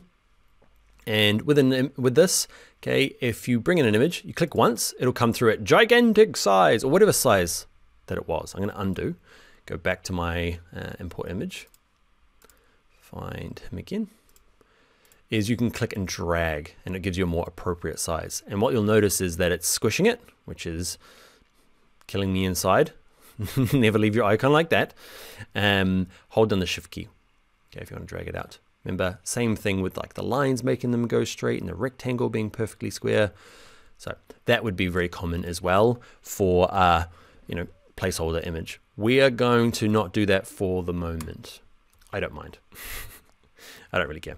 Lines, actually no, keep the lines there because we're going to look at something in the next video that is kind of reliant on having a couple of diagonal lines there. So, all right, that is strokes 101. Let's get into the next video. Hi everyone, I'm going to briefly introduce object editing mode, this kind of stripy lines where you're stuck currently. You might be trapped in here right now and you don't know how to escape. Let me show you how to escape and what it's actually used for. So I want to introduce this early in the course because if you're a double clicker, you've probably already been in there by accident. And I'll show you how to get out. So I'm going to grab my rectangle tool. I'm just going to draw something out. And normally you can just kind of grab the edges and you're like, okay, that's imagine how I want it. Um, but if you want to like say break the edge and distort this, you double, well, there's the official way of getting in there. So I've got it selected. Look, there's the official way. edit object. Click on that and nothing really happens except this top menu changes. Watch it again, click on that, you get these extra features. We'll go over them in more detail when we start drawing our own icons, but I wanna, yeah, I wanna get you escaped now early in the course. So the official way to get into it, click that, okay? And what you can do is you can grab a corner and drag it and you're like, yay, destroyed it, okay? Or, you know, manipulated it. You can also click the center and delete the center of your rectangle. Click on this edge here, delete the top part. So that's what object editing mode is. It kind of breaks it from that kind of, you know, that rectangle that does only rectangle stuff. And I show you here because a lot of people get lost or stuck in here. So I'm going to undo that. Now the official way to get out is to click done. But the normal way, the way most people do, is just to double click on the background.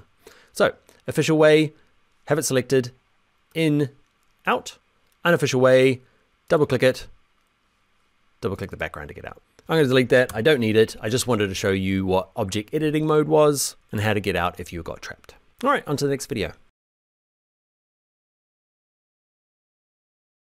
Okay, let's look at scaling versus the selection tool, because you're going to need both of them, and they're a bit quirky from other programs that I've used, and yeah, caught me out at the beginning, so let's do it together. So, with my selection tool, I'm just going to click on the rectangle. I'm not in object editing mode, remember? Okay, and all I want to do is, I've got this tool here, the default tool, and I can click, click the edge and I can drag it around. That's kind of how you imagined it. Um, you know, and that's most of the time what you want to do. What you'll notice is, is that the stroke stays at two the whole time. Okay, and if I do something else, let's say that I select both the text and the rectangle, and I'm like, I want it to be bigger. Okay, and I drag it out. Huh, that's weird. Maybe if I hold shift, hold shift, still doesn't work. That's where the scale tool comes in. So there's times where you actually want to just make everything bigger. Stroke, type, everything. And it's this tool here, hiding underneath the selection tool, click, hold, drag, don't hold and drag, just click and hold, and there it is there, the scale tool. Okay, click on that. I've got both of these selected and I can just click and drag this the corner there. And if I hold nothing down, it does it kind of proportionately, scales it up. Both the stroke, can you see the stroke got bigger and the font and the rectangle? So there's times when you need both. Let's say in this case, I've drawn this too big for what I need it to be. So I'm gonna go to my scale tool and I'm gonna make it a bit smaller. And both the font, because I use that as the rectangle, and my little stroke gets smaller. I'm gonna bring it to the front using my square bracket even if you group stuff first, you still got to use a scale tool. What I mean by that is, let's say that we do, what do we got? These two. Okay, select them both. I'm going to right click it. I'm going to say you are group that selection. And I'm going to use my normal old selection tool. It still does the same thing, even though you think I've grouped it. Nope, still does the weird stuff. So you got to switch to the scale tool and you do it so often that there's a shortcut and you're like, excellent, that's easy to remember. It's probably S because it's the scale tool. Nope, it's K. I don't know why. But don't worry, the S tool, if I hit S, it's the slice tool that nobody uses. There's people out there probably use it, but I never do. It's a big waste of a good shortcut. Though we have to use K. That's just the way it is. So V is the shortcut for the selection tool and K. You end up toggling, like I, again, I'm trying not to do too many shortcuts, just the ones that are really helpful. And I'm gonna I'm going to beat them into you throughout this course. So you're going to go to the end and be like, I know it's K, I know it's V, because they're helpful. And it's hard to remember them sometimes. So you need some beating. All right, so K, and you can scale them up. Perfect. So back to the selection tool and off to the next video. Hi everyone. Uh, this video we're going to look at the differences between groups and frames. Um, up until now in this course, it's been pretty basic, right? Like the type tool does what you imagine, the rectangle tool does what you imagine. Like it's not rocket science. Ready for this video to be rocket sciencey. Uh, I introduced it earlier in the course because it was probably the hardest thing I had to get used to um, coming to Figma. So I'll introduce it a little bit now and a little bit later on, a little bit more. And you know, towards the end, you will become master of frames. But if you get to the end of this video and you're like, oh, I kind of get it, but I don't kind of get it, don't worry. I'm introducing it early so that we can revisit it a few times. All right, first let's understand groups. Let's draw a bunch of shapes up here. So we're going to grab, we'll do rectangle tool. Okay. We'll do three shapes. Let's look at the polygon tool. Okay, get them roughly. You don't need to be the right size. They can be three circles. I'm doing these because, I don't know, looks good.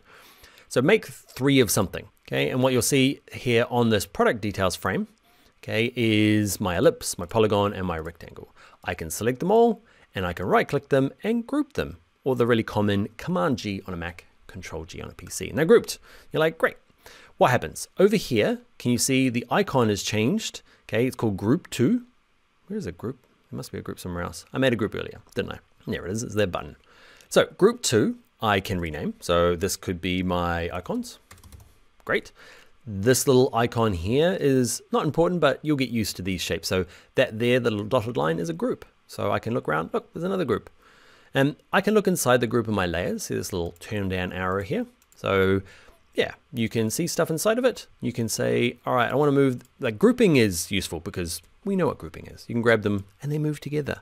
Okay, but I can go into them individually by either clicking them here in the layers panel and going, okay, this needs to be a bit further this way. Or we can kind of go into that object editing mode. So let's double click on the background, click on it once, double click, we kind of go inside of it, inside of the group, and we can operate, you know, work on it, double click it to come out. And it's still a nice helpful group. You can ungroup by right clicking it and going to ungroup Okay, and then it kind of comes out of that dotted group and it's back to being single units. I'm going to go back, Command G or Control G on a PC and group it. So what's the difference? Uh, let's make two versions. So I'm going to duplicate this fella and I'm going to right click it and say ungroup. So I got this grouped one. You can see him here. It's called grouped two. These guys here are just hanging out by themselves in this frame. So what we're going to do is very similar. I'm going to select them all. And instead of right clicking and saying group, we're going to frame selection and it's basically exactly the same as a group, except the icon's different. Can you see over here? There's my top one. Let's move the layer order so it makes more sense.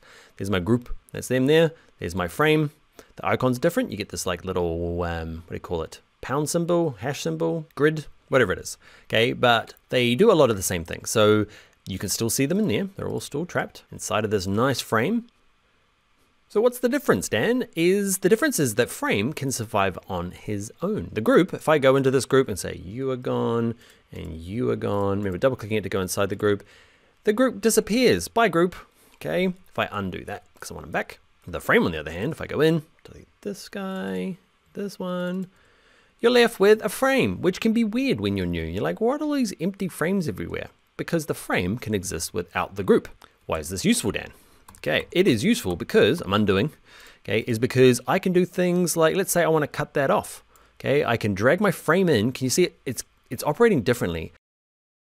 If I drag the edge of this, look what happens. Squidgy. If I drag the edge of this in, okay, I can do things like this, clip the content. So I can use the frame as kind of like a mask, okay, to kind of hide things, which is one thing. And actually, let me show you quickly. So this is why that's useful. You created a nice big list. Okay, you can grab your frame, make it a bit smaller. I know we're jumping ahead in the course, but I guess I want to introduce frames a couple of times. So that's why it's good. You got this list and you can set this to scroll, okay, so that it kind of clips it off. Same with this. You got the stuff hanging over the edges here. I can say, where are you frame? You can be over there. Then I can say clip contents. So I can use a scroll so people can scroll left and right, but clip off the edges. That's one of the things. Let's jump back. All right, so clip contents is one of the reasons.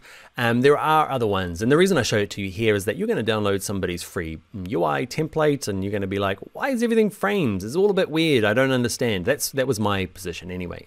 So the reason people do do it, they get to an intermediate level or an advanced level in Figma and they just stop using groups, never. Because Figma, um, sorry, frames is just like groups, but with bonus extra features. And clipping contents is one of them. Let's look at one of the other main ones, just to introduce it now, and we'll work on it at a bit more um, in depth later on. So what we can do is I'm gonna actually ungroup this. Weird thing about a frame is that you group it, so you group this top one and then you ungroup it. You frame, you frame it, then you ungroup it. Does that make sense? You ungroup works for both of these. So I'm gonna ungroup it and you'll notice these guys just come out. I'm gonna put these kind of over here. I'm gonna grab my um, name here. Okay, and I'm gonna select all of these and turn them into a frame, not a group, because I wanna see the bonus. The bonus is, watch this, I can click on, double click to go inside our kind of object editing mode. I'm inside my um, frame, and I'm gonna say you stick to the top left of this frame that it's in. This frame is the thing around the outside. Okay, these guys though, I'm going to click on you. Okay, and I'm going to say, actually, you are going to go to the top, top right. Same with you. You can go to the top right. Same with you, top right. You're like, what does that do? Watch this. If I go now and I'm going to make a copy of it, and watch this. When I drag it, hey, it sticks to the top right of the frame. Groups can't do that. Okay, they call them constraints. We'll do them properly later on, but when it gets to things like, okay, I need another um, version, it needs to be tablet. Okay, so I'm going to click on my frame tool. I'm to say, oh, it's going to be a tablet mini. Okay, it's going to be in portrait. I'm going to stick it over here. I'm starting to design. So instead of trying to drag it all out and try and make it all line up, you can click on this guy and go, okay, you go over here and I can get in the top and I can drag this over and I can stick it to that side. Can you see the perk? It gets more and more in depth when you start kind of stacking things up and it means when you start adding text, things start reflowing, it gets not complicated, gets more awesome. That's what it does. But that awesomeness comes at a kind of confusing stage because remember at the beginning of this course, we dragged out frames. Remember the frame? That was our mobile phone. We just did it now again with the tablet. Okay, so frames get used for the big thing around the outside, but also the little things inside of uh, it. Okay, these little nested frames. So I've got a frame inside of a frame. Weird. If I bring in, say, maybe that icon we brought in earlier, okay, you probably didn't notice, but if I go to um, our place image, okay, and I bring in the same one or a different one, watch what happens. If I drag this out, you'll notice that actually, can you see, it brought it in as a frame. Okay, it's a frame. Inside of it is our little vector thing, but it's inside of a frame. So that's why we can't leave it to the end of the course because there'd be frames everywhere. And you're like, in this case, it doesn't matter. We're not using any sort of this goodness with constraints and variants and all sorts of cool stuff we're going to do later on. It's just kind of like a group. That's all we're going to use it for for this guy. But know that later on, there's some fancy stuff we can do. Ooh, ooh. So what you're trying to tell me, Dan, is groups bad? Nope. Groups are great and they work just fine and they just don't have all the extra um, fancy features. So that is my whole point of this video. Um, we're going to use frames from now on instead of groups because they have features that we're going to learn on uh, learn later on, uh, and they just appear lots in Figma. And I wondered why. The weird thing is when you've got uh, frames inside of another frame. Weird. Why do you got frames inside of frames? And the one last thing is that this frame, why does this one have a name? How did you get that name there and this one doesn't have a name? Basically, if a frame is not nested, it has a name. What I mean by that is, see this frame here? Got it selected. If I drag him over here, watch. His name appears. Inside, his name goes away. So that's kind of why you might ooh, uh, sometimes see a frame name, and sometimes the frame is just used as like a group, and it's inside of another frame. Wow, what a confusing video, Dan. Anyway, I let's I hope it got us closer to understanding frames versus groups. What we don't need is we don't need these particular examples that we made. Okay, we're going to create some specific icons in a little bit. But yeah, we're moving towards understanding frames versus groups. Uh, so delete those and I will see you in the next video. Hi everyone, it is class project time. Okay, I want you to create something like this. Okay, you might be following along so far and you might be kind of at similar sort of stage here. If you're not, I want you to build, get all your frames in. Okay, I want you to build this first page plus these other three. Basically just other kind of versions of this first page. Rectangles, lines, some text. Okay, I want you to keep it very reasonably similar to my layout, even if you're like, even if you disagree and you're like, no, that shouldn't be there. Keep it kinda similar because I, I, I want you to be able to follow along with your example throughout this course. Okay, and these kind of units help me show you all the different features in Figma. So keep it close to that. And the actual requirements for the different class projects are in your exercise files. You'll see something in there called class projects. Open that up and it will look something like this. Okay, we've done this first one, so ignore that now. If you haven't, um, this website URL will change, kind of building it at the moment, but remember you're gonna go to that website and you're going to create your own brief and persona. So we've done that one already, potentially. then we're up to here. Okay, so use the skills you've learned so far. It should look something like that. If you're looking for a larger version of it, you should be able to zoom in in this PDF, but if you can't, in your exercise files, there is the PNG. Okay, wireframe example, just a nice big version of it you can look at. There is a Figma file in there as well. Remember, if you can't remember how to do the Figma file stuff, maybe you go home, go to your drafts and hit that and you can import that Figma file. Up to you. All right, what else needs to be done? Uh, here are the requirements, so four pages. Those are the four pages from our task flow. Okay, uh, pick your own color. Okay, doesn't have to be green, and your own font. You lose points if you use uh, Papyrus, Trajan, BrushScript, or Comic Sans. All terrible fonts. Pick a plain, simple font that I don't hate. It's part of the requirements. I'm looking at you, Papyrus. And then what I want you to do is just take a screenshot. Um, I'll show you how to export frames and stuff properly later on, but it's actually just easier at the moment to go into Figma and open up your project, okay, and just take a screenshot. On a Mac, it's Command Shift 4, okay, and you can just drag a box around it. And on your desktop, you probably have a screenshot. On a PC, it's slightly different. You do use print screen and then you paste it somewhere. Uh, I'm not big on PC and um, exactly how to do it for the different versions, so just Google how to take a screenshot. You're allowed to take a photo with your phone. Either way, do that and then upload it to either the projects or assignments. It depends on the website you're on. You'll have a look. There'll be a way to kind of submit it either as an assignment or a discussion or a project. Once you've done that, I will see you in the next video. Is that big homework? I don't know. it doesn't take too long, uh, but it's good. We're going to practice our tools, our techniques, and we're going to get better together, but we need our wireframe. All right, I'll see you in the next video. Hi everyone, let's talk about where to get free icons. I'm not going to talk specifically about websites, even though I'll give you a couple. It's more about what you're looking for when you are downloading icons for our Figma file. So I'm using iconfinder.com. I like it. Mm, there's lots of free stuff on here, good paid stuff as well. But if this website's not here when you go visit the internet, there's plenty of free icons. Okay, so uh, what you're looking for is, let's say I want the shopping cart icon. Okay, that's what I need for my mockup here. What you're looking for is a particular file format. It's called an SVG. I'm stalling. that thing took ages to load. Anyway, so there's a couple of things on most of the sites. The main thing is all to do with how free it is okay? Because there's free and then there's properly free. So free or licenses, um, I'm going to use the one that's for commercial use, okay? And this one here requires you though to uh, use it for commercially, but you have to link back to them, which is totally fine. You might find good free stuff in there. Um, this one here requires commercial use, but doesn't require a backlink. So I don't actually have to acknowledge the people that made it. So in here, pick anything. I say pick anything. I'm going to find a shopping cart that looks like a shopping cart. Where is one? pick something quickly, Dan. People are watching. All right, this one. All right, so this one here, I'm going to open it up. And what you'll find in most of these sites is there's a PNG version and an SVG version. Let's look at both of the PNG is probably the one you already know. SVG you may or may not know already. So I'm just going to pick a, um, a smaller icon version of this PNG and I'll show you the difference. So I'm going to download both of them, stick them on my desktop and this SVG. Let's compare both of them and how Figma deals with both of them.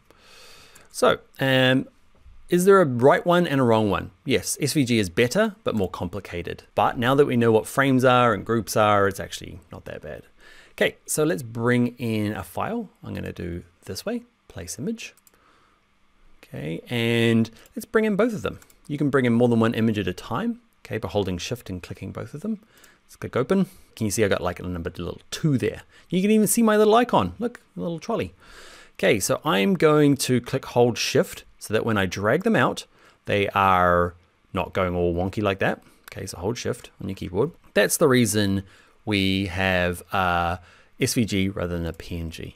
I acknowledge that I downloaded a very small version. Okay, on here, in here, you can download like the really big version. Let's download that and it will look fine. Um, so let's bring in another one. Command Shift K. Okay, I've got this other PNG. The difference is, can you see that size of that one? Okay, so I can get a good quality PNG, but my SVG is one kilobyte. This is 112 kilobytes. That's the reason we don't, you know, we prefer to use SVGs. Uh, so it looks good, but it's ginormous, so can't use your PNG. Uh, it's transparent, which is awesome. This SVG is transparent, kind of. You're like, well, that's not transparent. it's got a white background. SVGs into Figma, what they do is we kind of looked at this earlier. Can you see they came in as a frame? Okay, inside of that frame is a group. Inside of that group is a vector. That's all we really want. So I'm just going to copy it. Okay, come out of that frame and hit paste. I didn't actually come out of that frame. You can drag it out of the frame. So it's just sitting there, no man's land. So I'm going to click on this thing. I kind of like, that's what I do. I don't want it in a frame at the moment. I just want to kind of yank it out and delete the original frame, just so I've got the vector sitting, lying around, happy days. Now, it's transparent and it is colored. Okay, so I can go through, use my eyedropper tool and actually start using these now, whereas the PNG, we can't change the color. We could, we can go to Photoshop, change it, okay, but obviously SVG is scalable. That's what the S in SVG is, woohoo. Okay, and yeah, we can go into object editing mode, which you know about already. Okay, if you're like, I love this, but I really want a, double click, start going in, I really want a spiky handle then. Okay, uh, looks like a digger. Anyway, you get the idea. SVGs are better. So whenever you are looking for icons, free or not free, make sure you get the SVG. All right, another great place to get uh, free stuff is part of the Figma community. So if you go back to your like little house along the top here, there'll be an option uh, somewhere around here called Figma community. It's kind of new. It's beta at mine, mm, depending on how long in the future it'll get more and more robust. There is just amazing stuff in here and most of it's free. Okay, so in here you can do things like icons. Okay, and you will find loads of great icon sets created by people that we're allowed to use. It's not as searchable as something like Icon Finder if you just want to like a, hey, I need a sharing icon or a social media icon.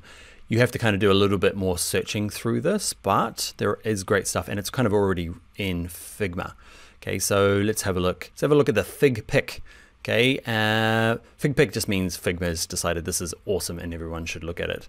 So what we can do is when we are dealing with the community for Figma, you end up downloading things. Okay, so let's have a little look. Let's kind of, you can go into it to preview it, but eventually at some stage to get all the stuff out of it, you need to do something called duplicating.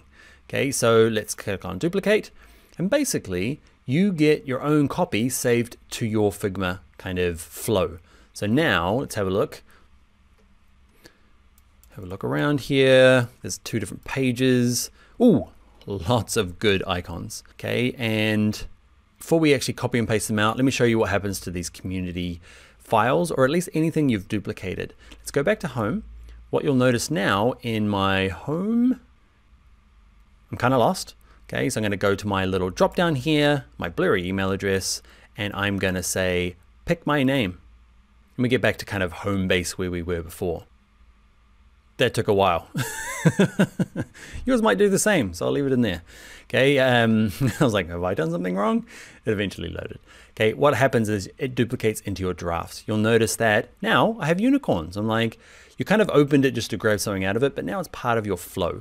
Okay, you can right click it and delete it, Okay, but everything you open or duplicate in Figma ends in this like it's part of your world now. That's the kind of benefit, I guess, of working in the cloud, which Figma does. Okay, it's not saved to your hard drive, it's part of your cloud kind of online login stuff. It also means that after a little while, you're gonna have a ton of things open in here and it's gonna be hard to know which is yours. So we'll look at searching and finding the files you want later on, and you might be really tidy and actually go delete the ones you don't want anymore. Okay, so we've got a couple of files open. We've got the one we're working on, plus our little unicorns, unicorns. Is it unicorns? Anyway, uh, so let's go and have a look. Now, it will depend on how these things are being created. These things have been created as what's going to be called a component later in this course. So this can be a little bit tricky for us at this level. Okay, so let's just do it anyway. Let's go copy. I really need this. I like it for my wireframe. I'm going to go back to this document and I'm going to paste it. And what will end up happening is this weird file turns up with the weird icon. It ends up in our assets folder, okay, used in this file. There it is there. It's a special thing that we're going to learn later on. For the moment though, what we're going to do is select it, right click it and say detach instance. You're like, I don't know why I'm doing that. Don't worry, we'll learn about it later on, but it means you can just say, it's kind of like ungrouping. Okay, we're going to say detach the instance. You can see it kind of goes back to that frame and you might decide, actually, like we did before, you can keep the frame. That works fine. Or you might go like we did before and like get it out of that frame, drag it out. So it's kind of just hanging out by himself. Or is he there? Let's rename it. Let's call it file. And in my case, it's on the, where is it on? It's ended up on a weird page. So let's say that I want it on the checkout page. It's currently not on the checkout page. There we go. Haha. And that is the community. I kind of introduced it earlier on. Okay, getting into the community because there's so much good stuff in there. You can find good wireframes and good kind of like layouts and lockups and cards and icons. And we're going to get used to copying and pasting them and sticking them into our document and seeing what happens.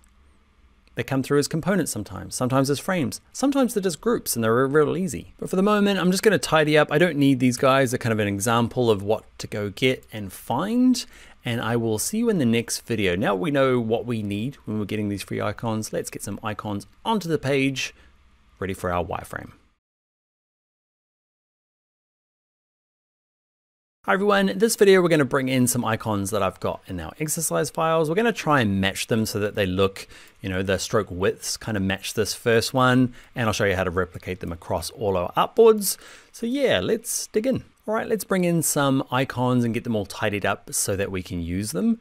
Okay, so we're going to use the long way still for the moment, using the little arrow there, place image. Okay, I want one, two, and three. So I want icon share, user, and home. I'm just holding down the command key on a Mac and just clicking them individually. On our PC, it's control. I'm gonna open them up. Now, what's the key I hold down to make sure they don't go all squiggly? Shift, that's it. So I'm gonna get mine to a size. Don't worry about the size at the moment. And I'm gonna drag these in. Now, what will end up happening is um, the, the size here will depend on the last kind of stroke size that you're working with. So sometimes you might drag in and they might be thick like this or might be super thin. One thing we need to do though is get them all to be very similar. Okay, I've got them kind of a similar-ish sort of size. Um, what I want to do though is scale them down. Okay, and you've got to decide here whether you're just going to use the normal selection tool or our fancy scale tool. Okay, it'll depend on what you want to do. So my case, you see the strokes are kind of staying at that two point. So it's kind of getting, if I get them down to about there, they're kind of close. Or you can use the scale tool, okay, and just scale them down. They all go down and we can adjust them afterwards. I want them down to about a size-ish and get them into that position. So import them, get them down to kind of this position, and we're gonna try and match these now. Now, you got to decide whether, I'm twirling all these up, these are frames, just like groups, with stuff in them. If you're happy to work like this now, we'll just leave them there. You can pull these out and delete the frames. Okay, what I'm going to do is leave them. So my share icon in here with it selected, you can see in here, I need to go inside of it because I want to click on this thing, came in with a group inside of it. But with it selected, actually I can go in here and I can see the stroke color. In my case, I don't need to change it because it's matching what else I've got. Um, and But the stroke width is about two. That's what I used here and I want to try and match these all. Okay, so same with this one. Um, sometimes so I can't see the stroke yet, so I need to go inside the frame and click on both of these, holding shift to select both of them, and it's scaled down to like 0.5, you can see there. So I'm gonna just type in two. This one here, this is not a terrible thing, but the way this has been drawn is that it's not a nice little stroke. It's actually a fill. If I double click it into go to editing mode, it's not like lines that are on top of each other. You're an Illustrator person from way back, you'll know what I'm talking about. Um, if you're not and kind of new to this vector world, you will just find some of them that are made up of strokes, and this one is actually made up of a fill, okay, and makes it a little bit harder to adjust. So for this one, to make it thinner, I literally have to go and do stuff like this, which is no fun at all. so you might just download a different one, or just draw one. We're gonna draw, you could easily redraw that with the line tool. Okay, so I'm gonna undo. Double click to get out. And scale wise, these probably need to come down a little bit. And this is where I don't want to be using my scale. Okay, if I use scale now and scale it down to the right size, it might look like this one here. But if I go inside of it, double click, you can see it's no longer two, it's 1.8. That can catch you out. Probably nobody's gonna notice, but I notice, you'll notice. So we're just gonna use the selection tool to do the scaling. And it means that holding shift, it means it'll retain being uh, uh, two point stroke. You get what I mean? Oh, broke that. I'm gonna leave it. it's broken forever. Okay, I can't live with it. Wait there. All right, back. Um, so what we're to do now is get those three in, get them kind of looking the same. Mm, I feel like this one maybe is not looking exactly the same. Don't spend too long on it, Dan. This is just a wireframe. Uh, what I want to do is I want to show you another, not trick, but a useful thing in Figma is I'm going to delete these, okay? Because what I want to do is have that on all of them. So What I'm gonna do is copy it. Okay, so from this first one, click on the name of product details and just hit paste. So I'm using Control C and V on a Mac. You'll use, con oh, that's a PC. So PC uses Control C and V and a Mac uses Command C and a V. So you just Command V on all of these and gets it back exactly where it got it off that first uh, frame, which is cool. So do that. I'm not going to spend too long getting all the spacing perfect on this because we're going to have to go and test this on a phone because like, are they too big on a phone? Probably. Are they far enough apart? Probably not. Okay, my big old fat fingers is going to end up touching more than one icon. So we'll do that when we actually test on our phone. But we've found our icons, we've got them in there, we've got them looking kind of the same. That'll be good for now. Let's get into the next video.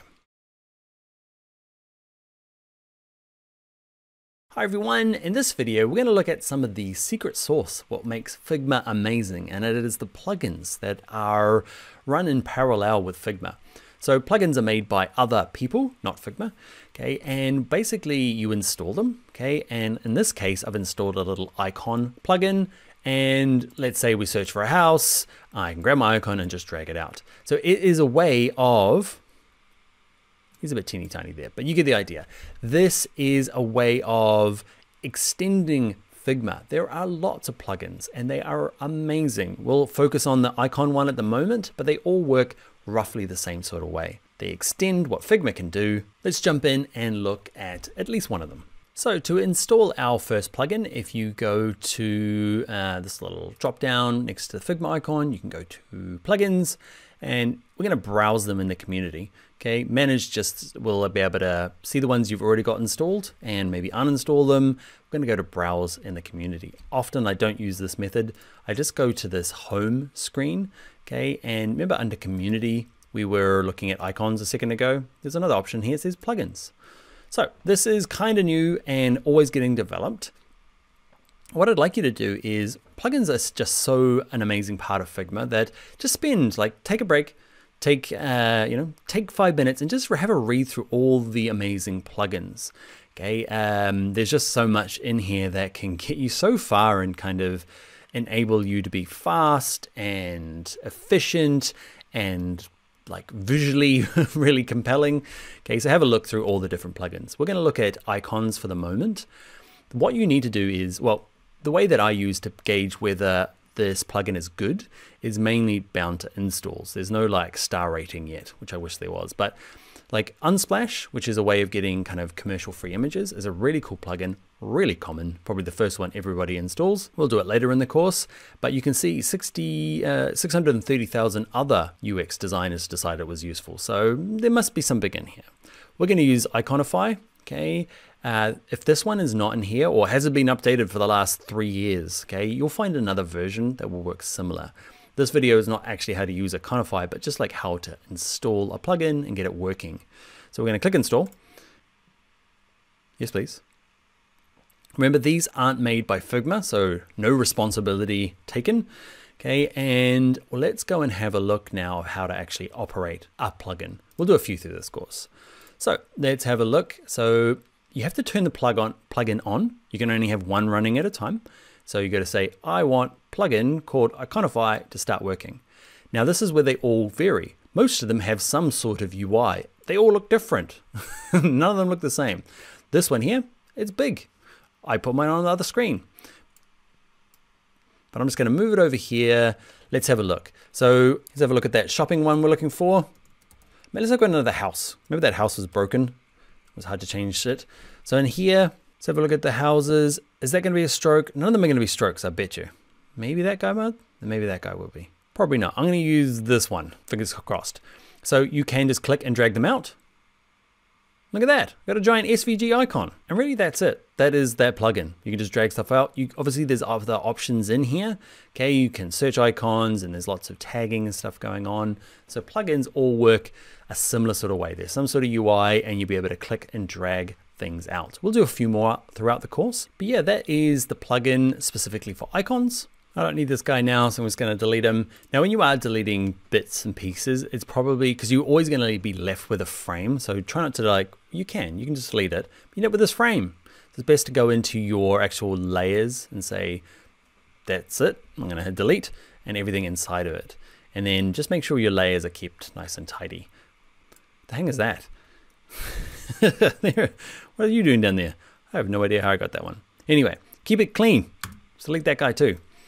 All right. That is, yeah, a really simple plugin. Plugins are amazing in Figma. We're going to learn a few more throughout the course. Let's get into the next video. Hi everyone, it is class project time, not homework. Uh, we are going to be doing something around icons. Okay, so if you haven't already, I want you to go and make sure that uh, you add the three icons along the top that we've kind of done in the class. And then on your own, I want you to add uh, this section down the bottom here. Okay, on the confirmation page, just a, you know, like a, uh, a prompt to ask people to share their purchase. And when they click on this, it'll pre-fill out their Facebook page or their Twitter tweet about, hey, I just bought these great headphones. Check them out here at this link.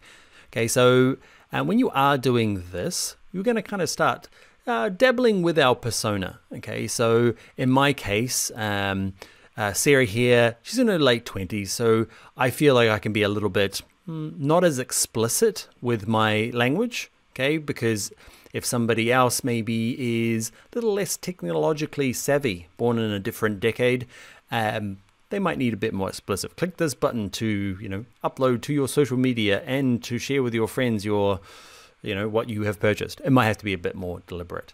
So my persona, she's in her late 20s, so she she gets the gag or the joke or the inference, okay, without being too explicit. Also, she these are the social media icons that I feel I'm not going to put them all there. Don't you hate sites that just have like, here's the 40 different um, social media platforms that you might share on it?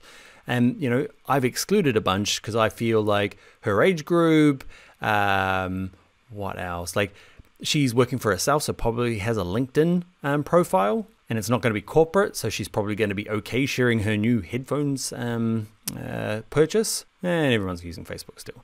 Uh, so, like, use these sorts of, you know, what should I have here? Go back to persona, decide what's going to be in there. It might be wrong, like you know, I might have got these totally wrong, and my client's going to come back and go, "Why isn't there Reddit there or some other thing that's new and TikToky thing?" Okay, but this is something that I feel like it's worth testing. We might add more to these later on, and hopefully in our user testing there will be some feedback like, "Hey, where is uh, that thing that I don't even know about? Why isn't that there?" All right, so that is it. So the top navs, I want you to find the icons from, um, I don't want you to draw them, I want you to find existing ones from either a free site, just to practice the SVG stuff, and or a plugin. Install your plugin, get it working, see if you can get stuff out. There's a little bit of text there that goes on there. Choose the appropriate icons, we've talked about that. Add them to the confirmation page, take a screenshot and upload it to the assignments, projects, comments, uh, and that's an example. And actually, before you go, if you are using plugins, which I think you should, get it installed, have a go with it. It doesn't have to be Iconify, use something else. Um, sometimes when you are dragging uh, things from plugins, let's say, it depends on the size of them. Like, let's say I drag in this Facebook one. Sometimes you're like, giant F, okay? And it just makes everything really tough in terms of your layers when you're new. So I'm gonna undo that. Often it can be undo. Okay, it's just easier just to find an empty part of your artboard and just drag it off there because then they're on their own in their own little kind of frame. Okay, and I can drag off a bunch of these. Where are they? And what else we got? Okay, I can drag up a bunch of these and I can scale them down and get them appropriate and then bring them in rather than trying to push them around in there and they ended up in inside of groups or frames that they shouldn't be. That's my advice. When you're finished with the plugin, close it down. You guys are gone. And yeah, I'll see you in the next video. Hiya, in this video we're going to look at pages. That sounds boring. It, it is and it isn't. Um, over here at the moment we're going to end up creating a page. We've currently got a page one. We're going to rename it mobile. We're going to create a second page that's going to have our desktop frames on it. And then we're going to create another page that has our uh, brief and our persona, and also our task flow all in one kind of nice Figma document, but these pages are going to be nice and separated out. So let's jump in and learn how to make them. All right, so to start off, you've already got a page one. Uh, it's lurking there. It's kind of probably closed up. You're on your layers panel, you've got page one, there it is. You can get quite far in Figma and never have more than page one. Okay, on page one is all of the stuff we've made so far. So we've got, I'm to use these little chevrons here to close them down just to make everything look tidier. Okay, so we've got our confirmation page, checkout, product details. You can rearrange these because that doesn't make sense, does it? Confirmation at the end. Ah, oh, I don't know. ah, that feels better anyway. So we've got our frames, which you could argue are pages. Okay, they're more like artboards, but we call them frames because that's what Figma calls them. Pages are a way of separating this kind of artboard here. So page one, you can have more than one page, a page two, and basically you get to here and you go, okay, I'm gonna start making something different. Why would you have two pages? In our case, what we might do, page one might be, I'm gonna double click it and call it mobile. Okay, and this other one is going to be desktop. So I want you to do that because we will design a mobile version and a desktop version in this course. There should be a tablet version as well. We're not going to design it because mm, we're not. it's just a small bit in between. Uh, so we've got our mobile and desktop. Let me show you some other examples of it. Well, you go to desktop. Let's, before we go, go to our frame tool. Now your frame tool, again, I'm not trying to get too many shortcuts, but the F key is a pretty common one. Okay, over here, I'm going to say I want desktop and Depending on when in the future you're watching this, this is a really good generic size, um, 1440 by 1024. Okay, um, we're going to have one, two, three, four of these. So I'm going to drag one out. Don't do that. Go to your move tool. Okay, grab the name, hold down the Option key on a Mac or key on a PC. Hold Shift as well if you if it's not locking into place. Totally is. And then Command D or Control D a couple of times. I love that Command D. So satisfying. Um, so we've got three of them. Okay, go through, I'll speed this up. I'm gonna name them all exactly like my mobile one. I totally can't remember, so I'm gonna have to flick back and forth. Please hold.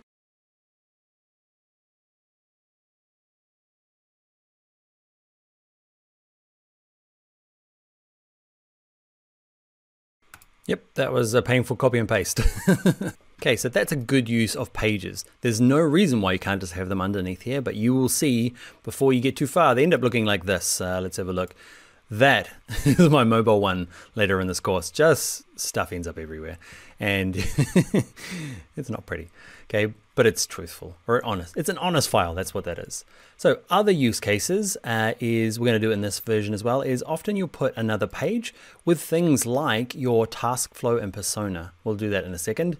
Okay, also let's have a look. I'll show you now because you'll have opened up some of the stuff from the community. Remember we looked at these um, uh, unicons, uni icons, whatever they are. Okay, over here, I, maybe I flicked through it. Maybe I didn't, I can't remember. But you might have noticed that I kind of might have gone to layers and I might have popped that down because I'm like, oh, there's pages and there's cover and there's unicorns. I want to say unicorn so bad. Okay, and that's how I found it. These are different pages within this one. This one here is just acting as a cover or a thumbnail. Okay, and there's where all the good stuff is. It gets even more hardcore. Let's look at something a bit more big. Okay, I'm at the home. I'm over here at community and I'm at explore. I'm going to find the Find anyone. Let's try this one. So Microsoft Teams is liable to be massive. Let's open it up. Going to be big. If you've got a slow internet connection and it's a big kit, okay, or a big Figma file, it might take a long time to up to download. Mine's, I've got kind of rural broadband. it goes okay. It's on a mobile device, so mm, that's that's okay. Okay, what you'll find is, can you see in this one, is you might get to here and go, that's not that useful. Where's all the rest of it? It's in here, all the pages are, okay? And you'll notice that there's a cover page. Great. Um, general information, okay? They've created a page with nothing on it just to make it easy over here. Can you see this one doesn't do anything? This one here uh, is where we get started. There's a bit of documentation on it, resources, what else, things to download. So you can see it's quite a complex one. The changelog, let's have a look at, I bet you there's more here. Look how many pages this one has. Loads. Okay, let's peek at a bit of them. The layouts, the avatars, the icons. So, um, you know, at the end of this course, we're not going to be creating a full, this would be called a design system. It's called a UI kit. UI kit's understating what this thing does. This is a system, okay, for how to think about everything about Microsoft Teams. So somebody's made this, somebody at Microsoft.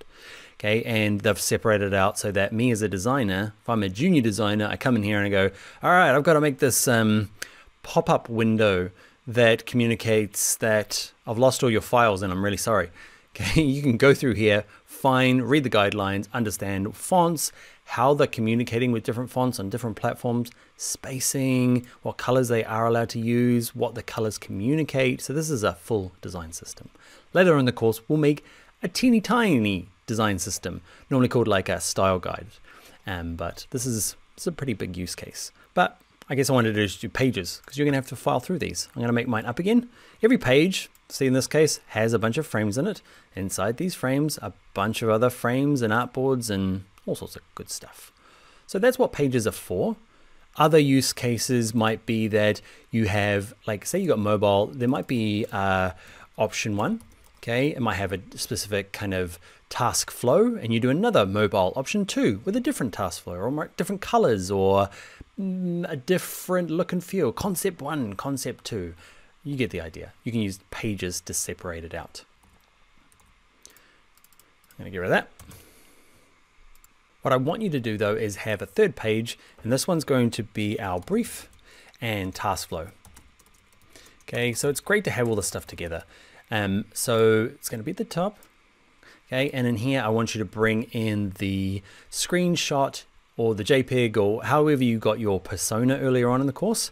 Okay, I got mine here, so I'm going to copy and paste this. Yours will be slightly different. I'm kind of building this functionality for you, but earlier in the course, I would have shown you how to uh, create your own persona. And I want you to grab it, the screenshot or the JPEG that you've downloaded, and put it onto your brief and task flow. Okay, so we'll put it in here. Yours is probably just a big JPEG. I'm not going to resize mine. And I'm going to bring in that task flow.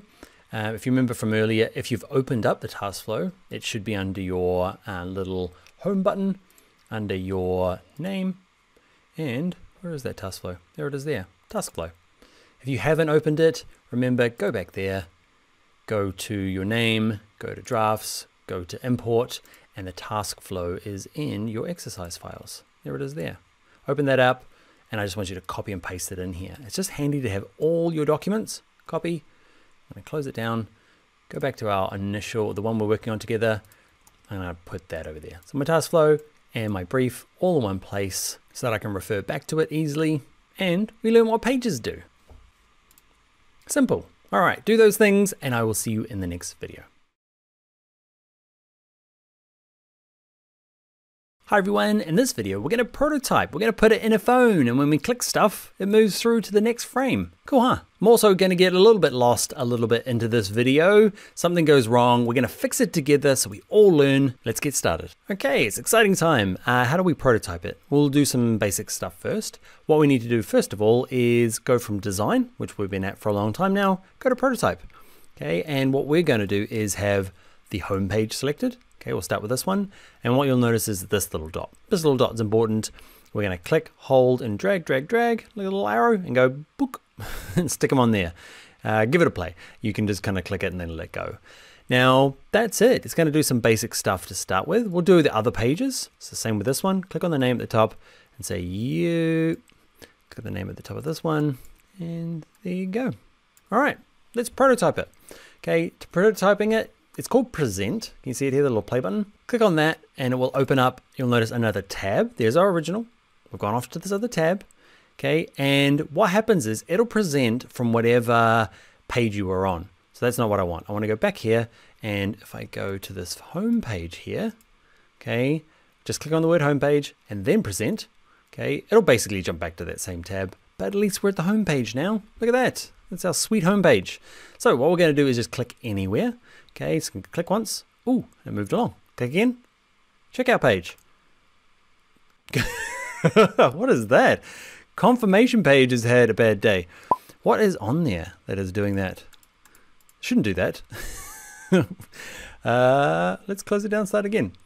Uh, what is on there? Nothing. Something's weird happening. Uh, I'll leave it in the course in case it happens to you. Homepage.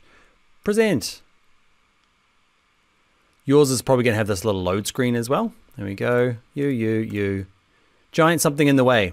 I'll figure that out later on, but it's kind of working. We're going to ignore the giant black box. Uh, okay, you wait there and I'll figure it out so we all know. Wait there.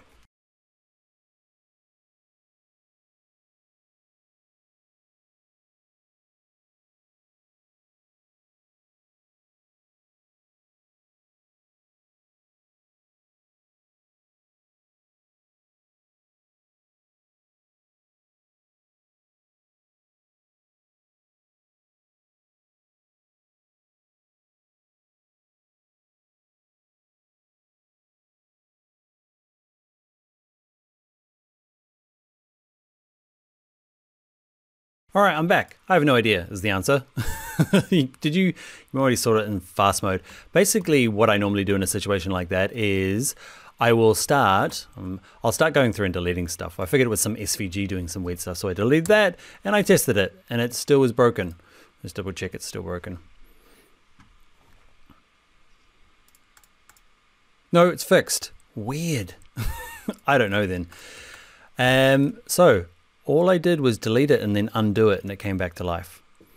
So just in case um, something else happens and it's not as easily fixed, like that took me ages. It took me about five, 10 minutes to kind of figure out what was going on.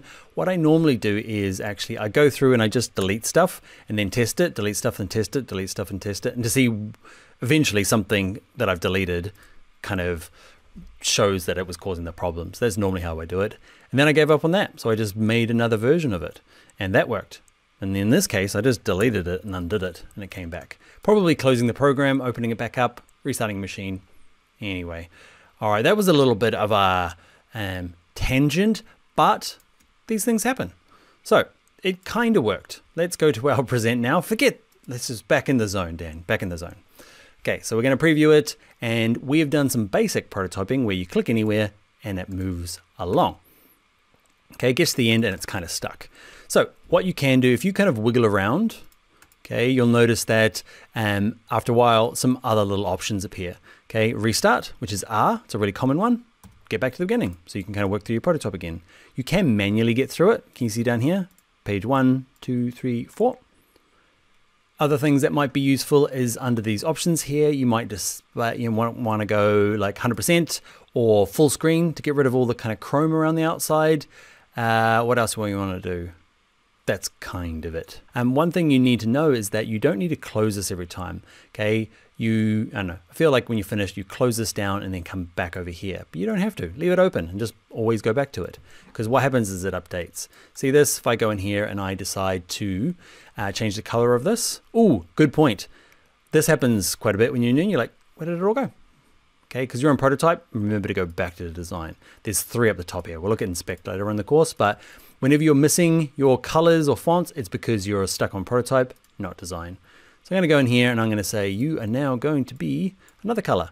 Okay, now I'm going to jump out to this tab that's still open and you'll notice uh, if I go back through my pages, it updates. If you're using the browser version, it's handy to get this tab, pull it out and put it on another desktop. On the desktop version, it's kind of stuck in here at the moment. I can't kind of pull it apart. So just toggle back between the two if you do want to toggle back between the two. The shortcut is, there's no shortcut. That is a bit of a pain. There might be in the future. Check. You want to Google the thing that says uh, Figma present, uh, what is it called? Yeah, present shortcut. Okay, it doesn't exist at the moment. What we do is we use the command on a Mac, control on a PC, and command one is back to your little home screen. Okay, we've been clicking on that. Command 2 is whatever the second tab is. That's considered the first one. 2, 3. So in my case, I'm going to be going back between Command 2 and Command 3. Command 2, Command 3. Command 2, make a change. Command 3. okay, and it updates instantly. So you can keep that open.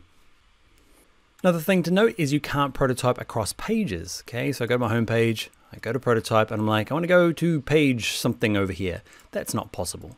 Okay, so it's only between frames on a page. What you'll notice in mine as well is that I have this nice chrome around the outside of an iPhone 8. That might look ancient when you're watching this, okay, but you can change that. And let's let me show you how. So let's be on prototype. Let's go to show prototype settings or have nothing selected. You end up at the same place. Okay, so having something selected, prototype, click this button or just click in no man's land. Okay, and you can say, all right, I don't want an iPhone 6. I want, uh, I don't know what Google Pixel, like I own a 4 at the moment. Why, why can't we have a 4? you have to look at a really old uh, 2. Um, and you can pick through the different colors. Um, not that they change much on an iPhone, but obviously on uh, iPhone 8, okay, instead of the gold one, you can pick the space gray one or the silver one. It's basically the backs of the phone, so not a whole lot changes. You can change the background color. You can go from portrait to landscape, okay? And when I go into preview now, let's have a look.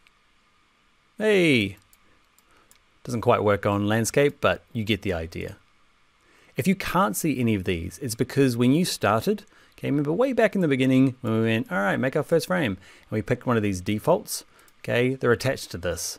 Okay, so if, even if you've just typed out, you've started with a desktop version and you've typed it out and made it a phone size, it doesn't connect up anymore. So you might have to make phone sizes and copy and paste them on if you want that uh, Chrome there. It's, it doesn't help the testing very much other than it looks cool. You'll also notice that our desktop versions, so let's have a look. Desktop, click on this one, even though there's nothing on this. So I'll click on home page. I'm on the frame too, aren't I? Okay, click on the home page. You'll notice in prototype, prototype settings, there's nothing in here. Okay, so I can go and say that I want it to be a desktop, okay, like a laptop, and it's not there. Okay, so there's only a few things you can actually wrap that Chrome around at the moment. All right, one last thing before we go is if you have been following me, what I want you to do is go back to mobile and I want you to break all of the um, these prototypes here because I don't want to just click anywhere. I want it to go to product details only when I click the learn more button. And I want to go straight from buy now all the way to the checkout page when that button's clicked. At the moment, it's using the entire frame. So to get rid of it, you can do two things. Uh, what I tend to do is just click on the little arrow, hit delete. Or you can click on your frame here, okay, and say under prototype, can you see it says we've, we've applied this interaction called tap checkout. Okay, just hit minus. Same thing whether you want to delete it by selecting it and deleting it or selecting the frame and then just minusing any interactions you've got added. All right, so we're back. We've gone nowhere. We added them, but we deleted them. Let's jump into the next video and we will rig up the buttons, but we'll also add some animations with our transitions. All right, I'll see you there. Hey everyone, in this video we are going to rig up this prototype so the buttons go to places, not just clicking the frame. Plus we'll look at the different animation techniques in between the frames. Actually, I'll show you.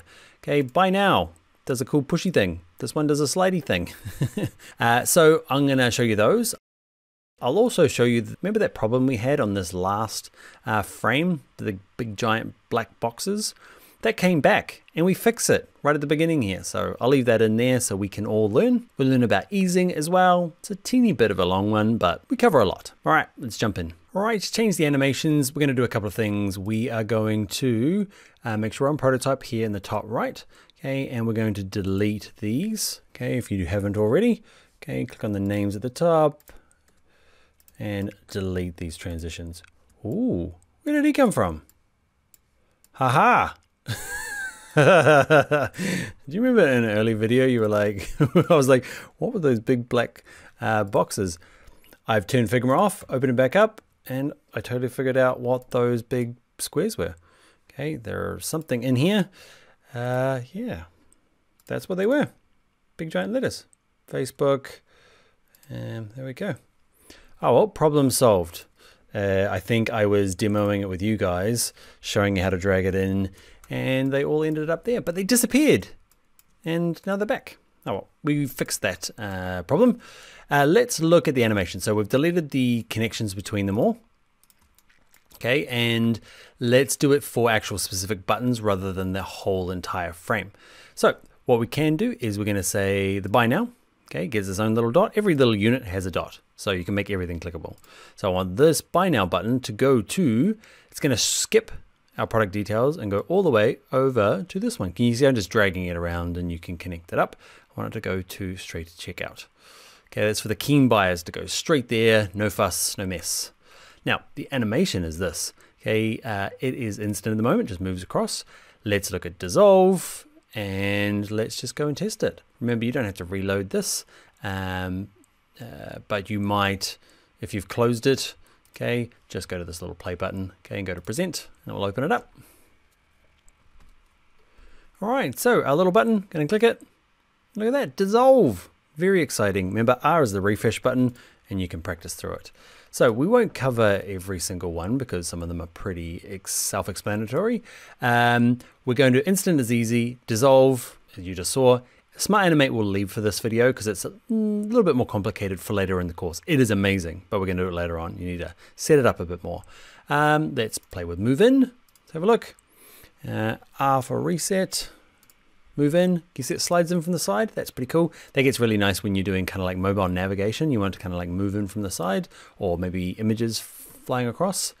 Um, instead of testing every single one, what you can do is like move out and can you see down the bottom here? If you hover above it, it kind of gives you a visual cue of what it's going to do. So push, can you see instead of moving, which is one kind of sliding in on top, push will push one out to move one in. Okay, so this is kind of an easy way to um, slide's really good when we do get to those mobile apps where it just kind of like pushes it to the side, not all the way in.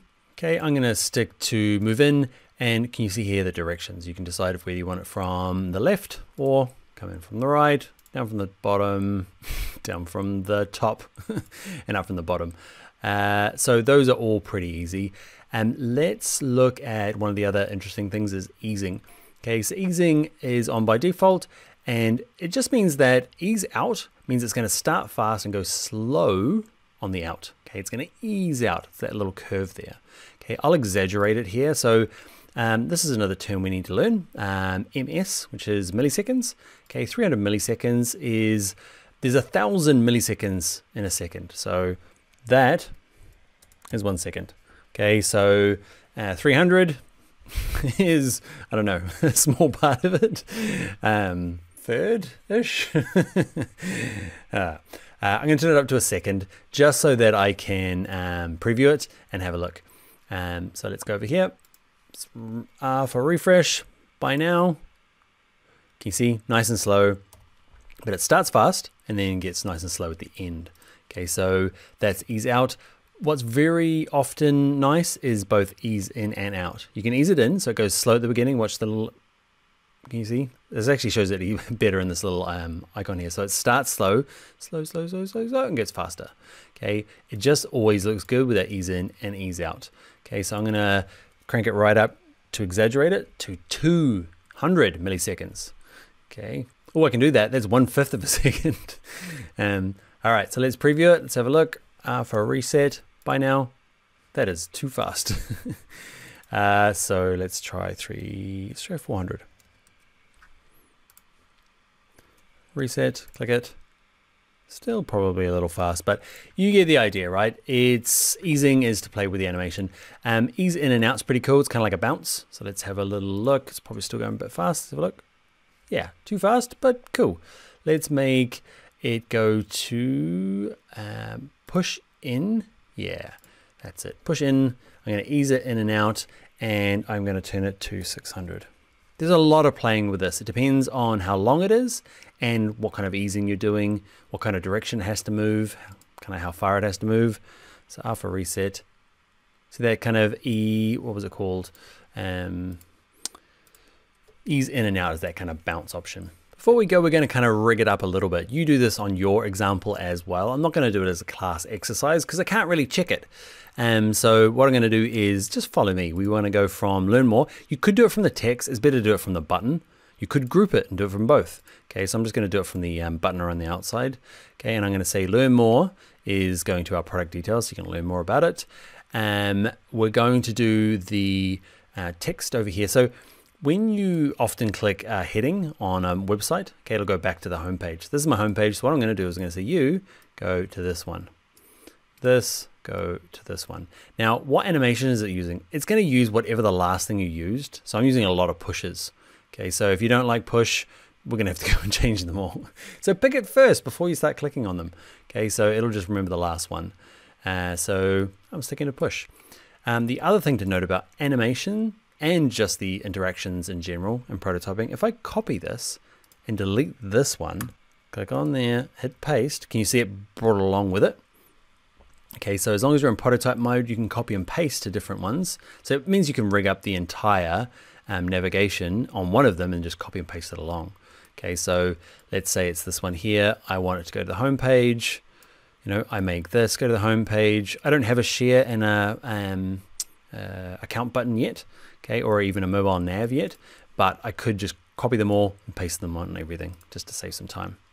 So by now, you end up with a spaghetti. Uh, it gets more and more spaghetti-ish depending on how detailed you want your kind of prototype to be. What I want to do is make sure that this purchase button goes to here, boop, and my home button's going, home button's going. Um, you don't have to drag it. Um, after a while, like it's really easy with only four of them because you can just kind of like oh, zoom out and just quickly drag this one, get it over here. Okay, it's doable. Uh, after a while, it's not. You know, you saw that like Microsoft Materials one, uh, no Microsoft Teams one. There's no chance of rigging that up um, with dragging and dropping. Okay, so what you can do is you can click on these. Okay, and actually don't click on them. You select it in prototype mode, click interactions, hit plus, okay, and it's going to say tap. What happens when the, when you tap this one, it's going to go to navigate to the home page. Okay, so you can do it that way and play around with your dissolve. So instead of dragging it, you can just kind of like select it, add this interaction and do it this way. I'm going to dissolve back. Fancy. Okay, I think that's it. Um, that's it, that's it, that's it. Hang on, let me think. I'll pause it, hang on. Uh, it's hard to get it right anyway when you're in the desktop view. In our upcoming video, we will test it on our actual phone. And then you'll know instantly. You'll be like, I'm stuck and I can't get back. Okay, so you can update your um, uh, your prototype. Oh, updating them. We didn't do that. So if I want to update this one from, you know, push, you can click on this line and it will pop that out. Otherwise, click on it and then you can click on homepage and it just pops that thing back out again. To delete one, you can drag it off back into itself so it disappears, or you can uh, click on the line like we did before and delete it. All right, we're starting to get prototypey. Let's have a look at our prototype. What can we do? Uh, let's go back to home. And did you notice that if I click on somewhere where it doesn't work, these little blue dots appear? It's just to help uh, people that are testing, even yourself, what to actually click, okay? Because we are doing, let's say, a task flow, and it's very simple. There's only four slides in it.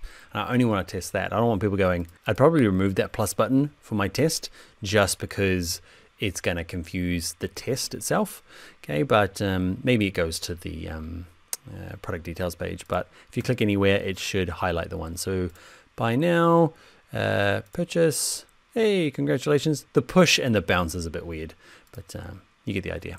All right, that is animation. What you probably are thinking, you're thinking is, I'm not sure I can use uh, Figma because it doesn't have the best, most amazing animation transition in the world. Let's have a look. It doesn't have dissolve. Where's my page peel and my barn doors? I know. They're actually illegal in most countries now because they're so terrible. Uh, so for your viewing pleasure, editor, can we wrap up with a page peel?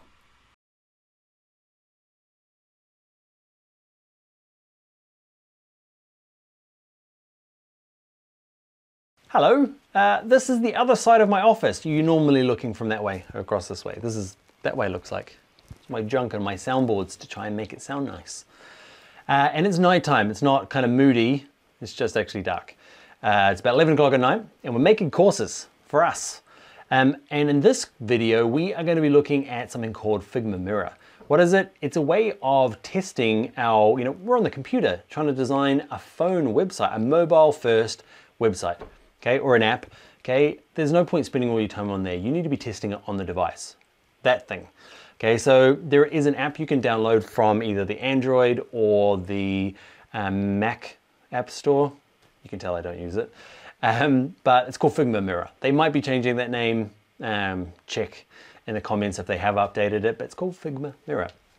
You sign in with your Figma username and password, then somehow magically it just starts happening. You don't have to be on the same network. Magic. Um, and basically what happens is, uh, can I show you here? Um, I'll show you. Can you zoom in on that? You kind of can. Basically, if I click on different things here on my desktop, you, can, you can't see what I'm doing over here, but if I click on my details page, where is it? Details page, there it is. Click on my checkout. So it's kind of live updating. And even better, it's actually live um, interacting. So will this work? Maybe. So click on my home button. What can you see? Home button. Home button's too small because I can barely click on it. And you can't see what I'm doing. Buy now button. Look at that. Okay, purchases. What is it focusing on? Is it focusing on the right thing? Maybe. Fades. Oh, look how good this is. So I can actually work on it. And the big thing I'm going to show you is the buy now button's too small. The text look fine on desktop, but it's teeny tiny in there. Okay, the purchase button looks all good when I go to buy now. Um, how is this filming the cam? This is probably terrible, but hey, that purchase button feels good to me. I'm finding it very hard to click on the buttons along the nav as well. They just need to be, they don't need to be bigger, they need to be smaller with a bigger area around them, so a frame to make them bigger. Logo is too small. Text on the purchase page is good, the checkout page. Um, and I do get stuck on the learn more page. I don't have any sort of like prototyping off the, uh, the um, more de product details page. I forgot to edit. You probably saw it in the last video, but it's when you get to this kind of stage and you're like testing it on your own, you're like, ah, oh, forgot that bit, or that's way too small, or that's a hideous color. Green. Okay, so um, actually that's probably pretty good. Um, oh, one, let's do a live update because that's pretty cool. I'll, I'll adjust the zoom so we can do it a little bit better. You wait there, I'm gonna change the camera. All right, so probably should have done this at the beginning. Uh, watch this, it live updates. I'm moving stuff around on my desktop. So you're looking at my laptop there, my phone over there. um, and yeah, you can just kind of work. So you, when I'm working, especially this initial stage, getting font sizes and stuff ready, uh, I just kind of like, I don't have it propped up, I just have my phone lying down on the ground. Uh, but so you can see it, um, this is really handy now. I can go through and say, actually, font size here, what do I want to do? It's a group, so I'm going to go into my group, and I'm going to use up and down.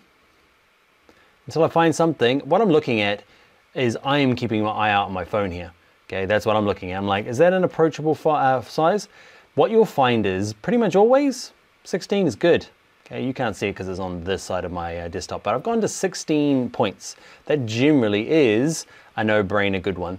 Okay, can't wreck it. 15 if you're trying to be cool and fancy and trying to keep it small.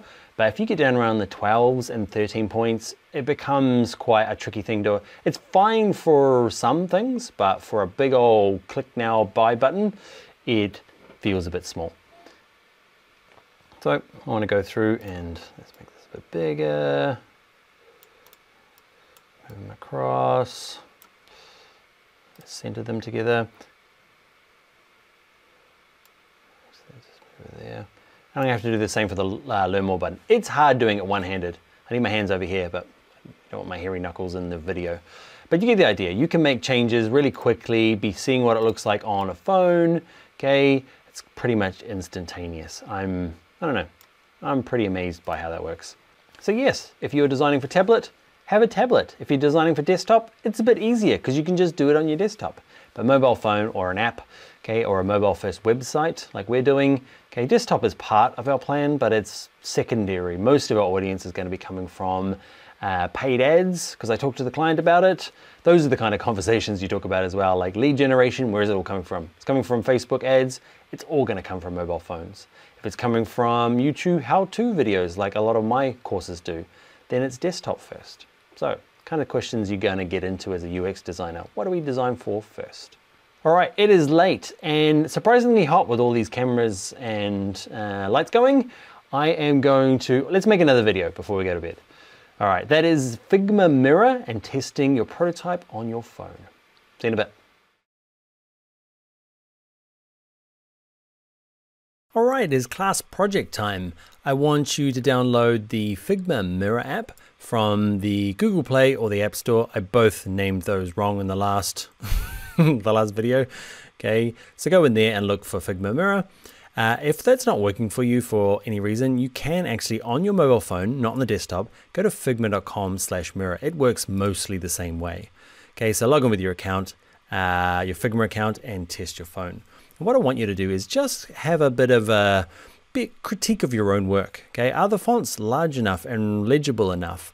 Are the colors easily contrasting. Okay, so I can actually see some of the text that is, you know, like over the top of these. I know it's a wireframe, so there's not much going on, but um, are these fonts for the description big enough? They don't all have to be 16 and massive, okay, but you know, there's some parts that do need to be bigger.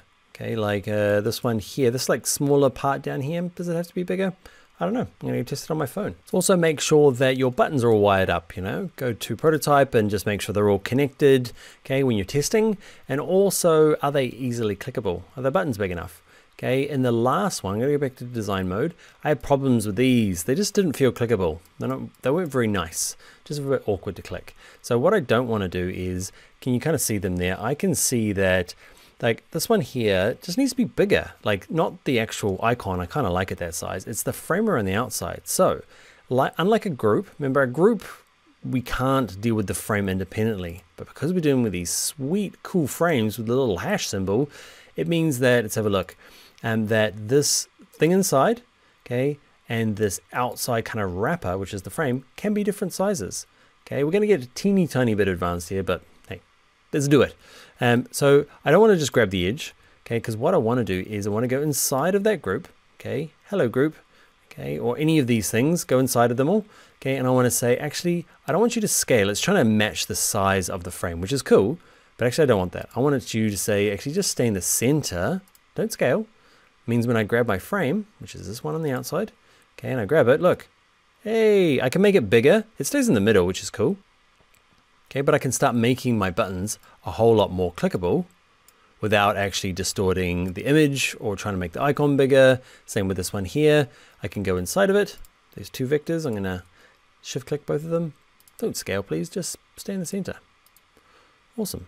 Go back to the framer on the outside. I'm gonna say, actually just be a bit bigger. Nice. So there, I haven't changed the size. I just made the clickable area easier to get to. And it's the only one I've actually rigged up, isn't it? you get the idea. Okay, so that is it. Go and test your wireframe. Okay, and check in your, where is it, class projects. Just want you to take it. Can you take a photo of your phone? Not everyone can. Um, if you've got another person's phone, take a photo of it. I just want to see it on the screen. Kind of proof that you did it. And a nice little, I don't know, cool graphic of your wire, first wireframe up on the screen. How do you feel now? Like, I remember when I first did my ever first wireframe, I still get that buzz of like, ooh, the thing I made, it's on a device, it's not my computer. And it's exciting, it's interacting, I'm clicking buttons, I feel like a professional. I don't know, is that you too? Anyway, uh, take a photo. If it doesn't work and you can't, you know, you've got no one else around to take a photo of your sweet new wireframe app. Just take a screenshot from your phone and upload it to the um, uh, assignments part of this website. Um, all right, that is it. Uh, I will see you in the next video.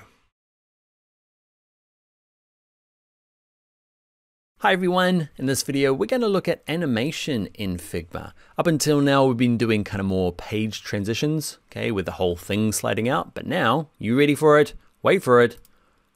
Hey, cool, huh? Uh, that is the arrow sliding in, just the arrow, rather than the whole thing. Okay, and to do that we need to learn something called Smart Animate, and we need to add a delay on our pages. So let's jump in and I'll show you how to make it. Okay, so to animate in Figma, just like one element, we've just been animating like a transition between the entire thing. We just want this arrow to move in, like you saw at the beginning there. So what I want to do is basically you have two of the same frame. So we're going to have confirmation, this first one, we're going to duplicate it. So hold down the Option key on a Mac, Alt key on a PC. So we've got two of them. Okay, and on this first one, I want it to be off screen. Okay, kind of over here. Um, this one of the tips is when you are doing animation is I'm undoing that is just have a bit of space. Okay, so I'm going to move it over here just so I've got space for my arrow. So we're going to have this first confirmation where the arrow is going to be off. Okay, and the second one where it's going to be on. And to make the magic happen is we need to connect these two. Okay, so I'm going to click on this frame and I want to say prototype and I want to say go there and when you go there, I want you to use Smart Animate. Okay, that's the one we ignored earlier. Basically, this works when there are objects of the same name on two, two separate frames, and it will animate them. Okay, it can see them on this first one, and it can see them on the second one, and it can see like, hey, they're in different positions. I'm smart, I'm gonna animate them. Okay, and I'm using the ease in and out back because it looked nice. uh, so yeah, let's give that a go. Um, confirmation, let's hit preview and it's not gonna work. I know it's not gonna work. This is gonna be the big thing that catches you out, especially with these kind of slide in animations. So go, click once, it faded in. Okay, what's happening is, is that this arrow is actually not part of this frame yet. Okay, or not part of this frame anymore. There was a time it was, look, I'm part of this frame. Okay, so have a look over here in my layers panel. Okay, I've got this line 13 on the confirmation page, but watch what happens. Look, watch it in the layers panel. If I drag it out, it's still part of it, still part of it, still part of it. At some stage it goes boop. Can you see? It, um, I'm not sure where that noise came from, but there you go. It is line 13 and it is now like not in this frame or this frame. So it doesn't know what to do. So basically it says there's no arrow. Now there's an arrow, so that's why it just fades in. So that's really important to make sure that it is part of this frame. You can have it over here, okay? You just gotta make sure it is inside the frame and you do it by dragging it in. Now, we've got a little, a little tip is, we've got two confirmations, and that is pain. it's hard to know which one is which in the layers panel. So I'm gonna do confirmation A and confirmation B, just to be helpful over here. And my OCD says A needs to be below B, a, B, there you go. So now confirmation A doesn't have my little line in there. So all I'm gonna do is drag it in. There you go. It doesn't matter where it is. As long as it's in this frame, and there's one that corresponds in this frame. So there's line 13 where there, and there's one there. It's gonna work. All right, so let's go and give it a test. So I'm gonna use my back arrow once. Okay, I'm just using the arrow. You can click these down here if you want. Okay, um, I'm on page four. Click once. Hey, a little animation. Okay, so yeah, that's the basics of Smart Animate. As long as there's there is something on both frames that has the same names and it does something different, it'll work. It could be even, uh, let's do a couple of things. One of the things with stuff off screen on confirmation A, we know it's there, like we can see it there, but we can't see it over here. So what we might do is turn the, remember one of the perks of a frame is under design, with the frame selected, you could say clip contents. So it kind of clips it off so you can actually see it and work on it. It's still part of the right um, layer order. Okay, nothing's changed except you can see it now while you're working. But there are times you want to kind of turn it off so it's all tidy. Okay, so now I can see it.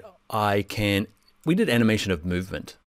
It will actually smart animate anything. So let's say we want to start it here. So it's still in the right, um, where were we? We're still in the right frame. It's still a different movement, but here we're going to turn the opacity down to 10%, just so I can still see it. Okay, and let's go test that now. So back arrow, click once, woohoo, it fades in and does that.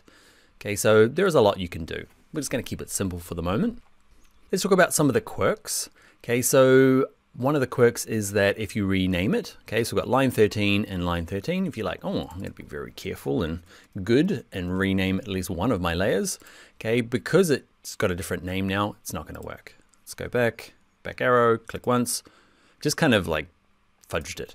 Okay, so if you're gonna name one, that's fine. Just make sure you name the other one. Arrow. Back one, click. Woohoo. Okay, uh, what else do I want to do? I don't like the fade in, so I'm gonna go back up to 100%. The other thing I want to do is I'm doing it on click. Basically what I want to happen is I want to go to checkout page, okay, and when I click this, I want the arrow to start kind of like moving in okay, automatically. Because at the moment I've got to click it and bring it in. You'll also notice if I go back one, when I click on this, because of the transition between the checkout page and the confirmation page, because it does this back and forth, you actually see the arrow, look. That's weird, huh? So we're gonna do a couple of things. When the checkout is open in prototype, I don't want it to do the crazy, what are we doing? We're going to get it to do on tap, navigate to our confirmation, perfect. But I don't want to do the move in. I'm going to go to instant and I'm going to turn that clipping back on. So back to design. Remember we clipped it off before or turned it off so we could work on it? It's great while you're working, but if you start seeing weird things, you might have to turn the clip contents back on. So let's give that a go. I actually want this off screen. Make sure that it's inside confirmation A. Ready? So I'm going to go back. Let's click this instant, and I want it to automatically go across, not have to click somewhere and go across. So we're going to introduce another kind of uh, transition between frames. Okay, so basically what I want to happen is when it gets to here, okay, and we go to prototype, okay, the moment what happens is we say on tap, navigate to this other confirmation B. I don't want it to be on tap. I just want to use this one that says after a delay. So I want it to get here, okay, and then after a delay of however long, okay, I'm going to turn it down to one millisecond. You can't have zero for some reason. Okay, you have to have one millisecond, which is one thousandth of a second. So it's going to be instantaneous. It's going to get here and then automatically move to this. Okay, and it's going to still use our smart animation. So that's the only change. Let's give it a go. Let's go back to our purchase page, give it a click. See, it got to there and then automatically moved on. If that's a bit confusing, let's change it to two seconds. So 2000 milliseconds. Okay, and let's go back. So we click this, it gets here, waits for two seconds, and then moves to the other one. And the smart animation moves it in. You with me? If you're not with me, don't worry, we've got a few more of these to do. It is a little bit weird, especially if you're from another kind of animation tool where you've got a timeline and keyframes and Figma does it. But if you're thinking, this seems a little bit clunky, it is, don't tell anyone. Okay, it is Figma trying its best to be all things to all people. All right, so the rules are make sure that the names of the things you want to animate, like our arrow here, are the same on both frames. You have duplicates of the same frame. Don't move the stuff you don't want to, move the stuff you do want to animate. You need to make sure that the smart animate is transitioning between the two. That's what makes the magic happen. And the other big thing is that everything needs to be within the frames. Okay, what I mean by that is remember our little arrow over here, okay, can't be hanging out in no man's land. It actually has to be on this frame and this frame, even if it's out in the artboard, it needs to be kind of grouped together inside that frame. Those are the rules of animation in Figma. All right, that is it. I will see you in the next video. Okay, it's class project time, your first animation. Okay, so just get that arrow to move in. If you're kind of like mm, new to animation and you're like, man, this is gonna be tough, um, just do the arrow that we did, okay, get it to work on yours. Change the arrow up a little bit, you know, get exciting, get a like a line arrow or a reversed arrow, do something a little bit different. Okay, but do that and then send me a screenshot. So just kind of like screenshot these two frames or three frames if you end up doing more. But yeah, if you're new to it, just do that. Nice simple one. We'll get into more animation later on. But if you are like a little bit keen and savvy and brave, okay, I'm happy for you to go a little bit further. Okay, so in here it says you might try something, keep it simple still. Okay, don't get things to bounce in and bounce off stuff. Multiple keyframes like that is tricky in Figma, but maybe it comes in from the top, maybe using a ball, a square, a tick that comes in, something different, up to you. If you did want to do more than one kind of animation, you can have multiple frames that all kind of have delays and lead into each other. But again, that is for the people who, I don't know, at this stage, I come from an animation background-ish, so I'd be like tackling that. But if you're new, just do the simple arrow and we'll do more later on. The other thing is, is that we're just taking screenshots and uploading them as assignments. Okay, I'd love to see your animations, but in Figma, just so you know, there is no like built-in recording part when you get to here. Okay, it'd be great if there's a button that says record my stuff, check. It might be there now. Okay, but there's not at the moment. Okay, so I would love to see what your animations are. If you do know how to like record your screen like I do, okay, I'd love to see either a video uploaded to something like YouTube or Vimeo, okay, that would, uh, that would be great, or an animated GIF, but it can get a little bit tricky if you haven't done it before, so screenshot is totally fine. All right, that is the class project. Do your first little animation, be excited, even if it is just a boring old arrow sliding in. All right, into the next video. Hi everyone, in this video we are going to be sharing our design with our client or one of our stakeholders. Okay, so we're going to share it first of all with Doug. Who is Doug? Doug is fictional. Uh, I'm using Doug as a representative of a level of person you're going to be sending it to. Doug is a simple creature. He hates computers and logging in and passwords. So, but we still need to get, you know, he's our client. I want to get him this uh, prototype okay, this wireframe at this stage just to see if I'm on the right track. Keep them involved rather than surprising them at the end. So it's really easy to share stuff in Figma. So we're going to use the share button on the top. Okay, click on that. And we're going to start with a simple version. Okay, because what I'm going to do is just send Doug a link via email. That's all I'm going to do. I'm going to copy it. I'm going to close it down. I'm going to open up a browser and I'm going to pretend to be Doug. Okay, so this is Doug. He, I emailed him a link. He clicked it in his email address, and this is what he sees. Okay, the nice thing about it is that Doug doesn't have to sign up or get passwords or get a free trial or all of that jazz. It just works, which is really cool. Okay, and he can kind of move around. He can't do a whole lot without logging in. Okay, but he can look at it and he can't comment at this stage. We'll do that in the next part. Okay, but he can look at it and go, oh yeah, that's cool, I like that. Or hey, what's this going on? And give me some feedback at this early stage of my wireframe just to make sure I'm on track. Um, the other thing you can do is this little play button still appears here. Okay, so we can click on this. You might have to tell him exactly where it is. And he can go through and actually prototype it without having to log in. He can see it. He can click on learn more. He can realize you can't get from learn more to the purchasing. Okay, so back to homepage. All right, so he can see all of this, which is cool.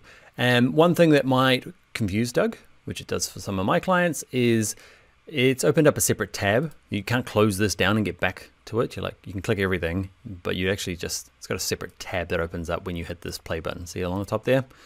Uh, yeah. Um, so yes, where this gets even cooler, like this might freak Doug out, okay? It might freak you out. Okay, so he's working on this. What you'll notice is I'm gonna make Dig, Doug go over the side. So pretend this side is Doug and this side is my regular old Figma. Okay, so let's put a gap in between. So this is him on his computer at his house, and this is me on the, you know, this is me working like I did before. And what you'll notice is he can see my arrow. Figma is a really amazing uh, collaborative design tool. So it's probably for Doug, uh, he's not going to appreciate that. he's going to be weirded out that I'm following him around with my little uh, hand. I can even see Doug. Look, there is his hand. So if I move him over to and click on this, anyway, you can see each other. That's the point. Okay, and let's say Doug's like, oh man, it's good, but what is that green? I'm like, and I'm like, oh, quick, before Doug sees it, I can be, select all same color, go, and he's like, I hate green, man. Green's the worst color in the world. I'm like, haha, what about pink? He's like, I hate pink more. what about red or orange? Okay, so what's happening is it's this is live collaboration. So um, it is amazing when you're working with other designers and other creatives because you're just doing something and you can all work on it together. Okay, but at this stage we're just working with Doug and yeah, he doesn't have to do anything else. He can just look. We don't have to be updating it in front of him, but it's a cool little bonus extra. Now let's bring Doug back. Go on, Doug. Okay, uh, if Doug wants to use commenting, okay, which is probably one of the really nice features. He can sign up free with either Google or sign up with his email address, and he'll be able to start commenting. Okay, so that's one thing that I might convince Doug to do. So you can actually use a little pin and actually start commenting on it. Let's show you a couple other things before we do commenting. Uh, so I'm going to go back to Figma. Okay, so forget about Doug. Bye, Doug. Okay, a couple of things that you can do as a designer okay, is you can go into here and when you do go to share, you can say, I want to link to a specific frame. So let's say that we all, the homepage is wrapped up. There's just problems with the um, product details page because there's no clickable button. Uh, let's do this terribly. Let's make that clickable and we can go to the checkout. Okay, so what is it doing? Instant, that'll do. Okay, so what I can do now is I can select the frame first and then go to share and then that option will work. It'll say, when I send this link, it'll actually link to the specific frame, this one here. It'll start there, okay? If it's grayed out, it means you've got nothing selected, and I go to share, you can't tick anything. Okay, so that's one thing. Let me show you what commenting does. Okay, so let me upgrade Doug, wait there. Okay, so upgraded Doug. This is Doug now. Before he could only do very limited stuff. Now with his free login, okay, he gets probably a little bit too many details for oh poor old Doug. You know, he's like, why can I see the CSS code? But the difference now is he's got commenting. So Doug over here is like, okay, I like this. Uh, you know, um, can't see my comment. So Doug's gonna write, why are we not using real images? Signed, Doug. Doug, it's a wireframe. That's why. Okay, so he posts on his one. On my side, I can see Doug now. There he is. Okay, and I can start seeing comments coming through. Okay, and I can see it there, and I can see it's pinned, and I can see it's going there, and I can reply to Doug and say, Doug, I've told you a million times, this is just a wireframe for testing. Okay, send it off to Doug. I should put a smiley face in there. Okay, and you can see we can have this collaboration between my client, okay, and me. They can pin stuff. All the client needs is a free login, or they can just do it by email. Don't have to log in at all. So commenting is great. There's a couple of things, and for me on my side, let's forget about Doug now. Okay, let's go. Can you see up here? There's two D's. I should have called him Fred or something, but there's two Dougs now. Okay, so there he is there. Uh, he's the yellow guy. You can have loads of them along the top here. Okay, of different people looking at it, lots of different clients, lots of different testers. Okay, I'm going to go from my, I don't want to be on comments anymore because I can add comments myself. Okay, I want to go back to my tools that I know and love. And actually I can go back to comments and I can say, actually this one here, I can click on it and I can say, see it here, resolved. So it's one of those things that we are finished with now. I've kind of made the adjustments based on it, or at least I've replied to his and I'm kind of finished that and I can work as a designer through the different notes from my uh, client or tester or product manager. So commenting is pretty nice and fluid and in real time. All right, we'll wrap this video up. We'll do in the next one how to kind of share for editing. It's gonna introduce a different part of the Figma experience, which is Figma Teams. All right, I'll see you over there. Bye, Doug. Bye, Dan. I'm Dan. All right, in this video, we are going to take it another step along. Okay, we send our file off to be shared with our client and that worked great. Okay, but let's say we're going to be sharing this with other colleagues. Okay, working in a UX design team, okay, at a company, and there's more than one of you working on documents. Okay, so I need to share this with somebody that can actually start working on the project and we kind of work together. To do that, we need to introduce something called Teams and team projects. So we got so far with just the drafts and using our sharing. So we look in here, kind of gave us an indication, right? If I want to share, I can send it to say Doug and I want him to be an editor, but it says, hey, first to be an editor, you need to move it to a team project. I'm gonna click close. Up here it says it as well. Do you want to move this file? Okay, a lot of things are indicating needs to be in a team. So let's go and look at that the manual way. We can move it and it will automatically happen, but let's have a look the long way just so you can understand it better. So back at my little home house here, we've been working in drafts. You can have unlimited drafts, a bazillion drafts. Okay, eventually though, if you want to be sharing it with other people and working on it, you need to move it into one of your projects.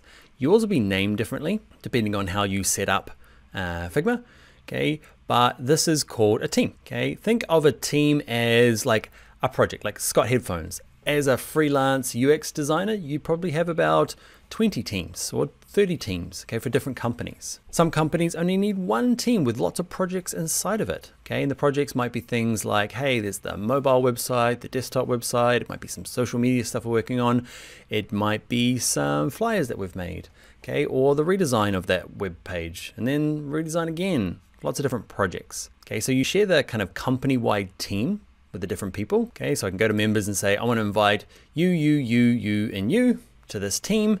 And inside of this projects, we're going to have desktop, mobile, January sale, all that sort of stuff. Anyway, those are what, those are the basic overview of what teams and the projects are. So let's go back to this. Okay, so we've been given, yours will be different. Okay, the name will be different. But you've been given, inside your team, there's already a team project. It's this thing here. You can view it that way or this way. It's the same thing.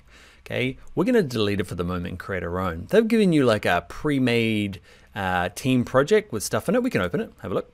Okay, this is the default one for Figma at the moment. Okay, and there's just a bunch of styles.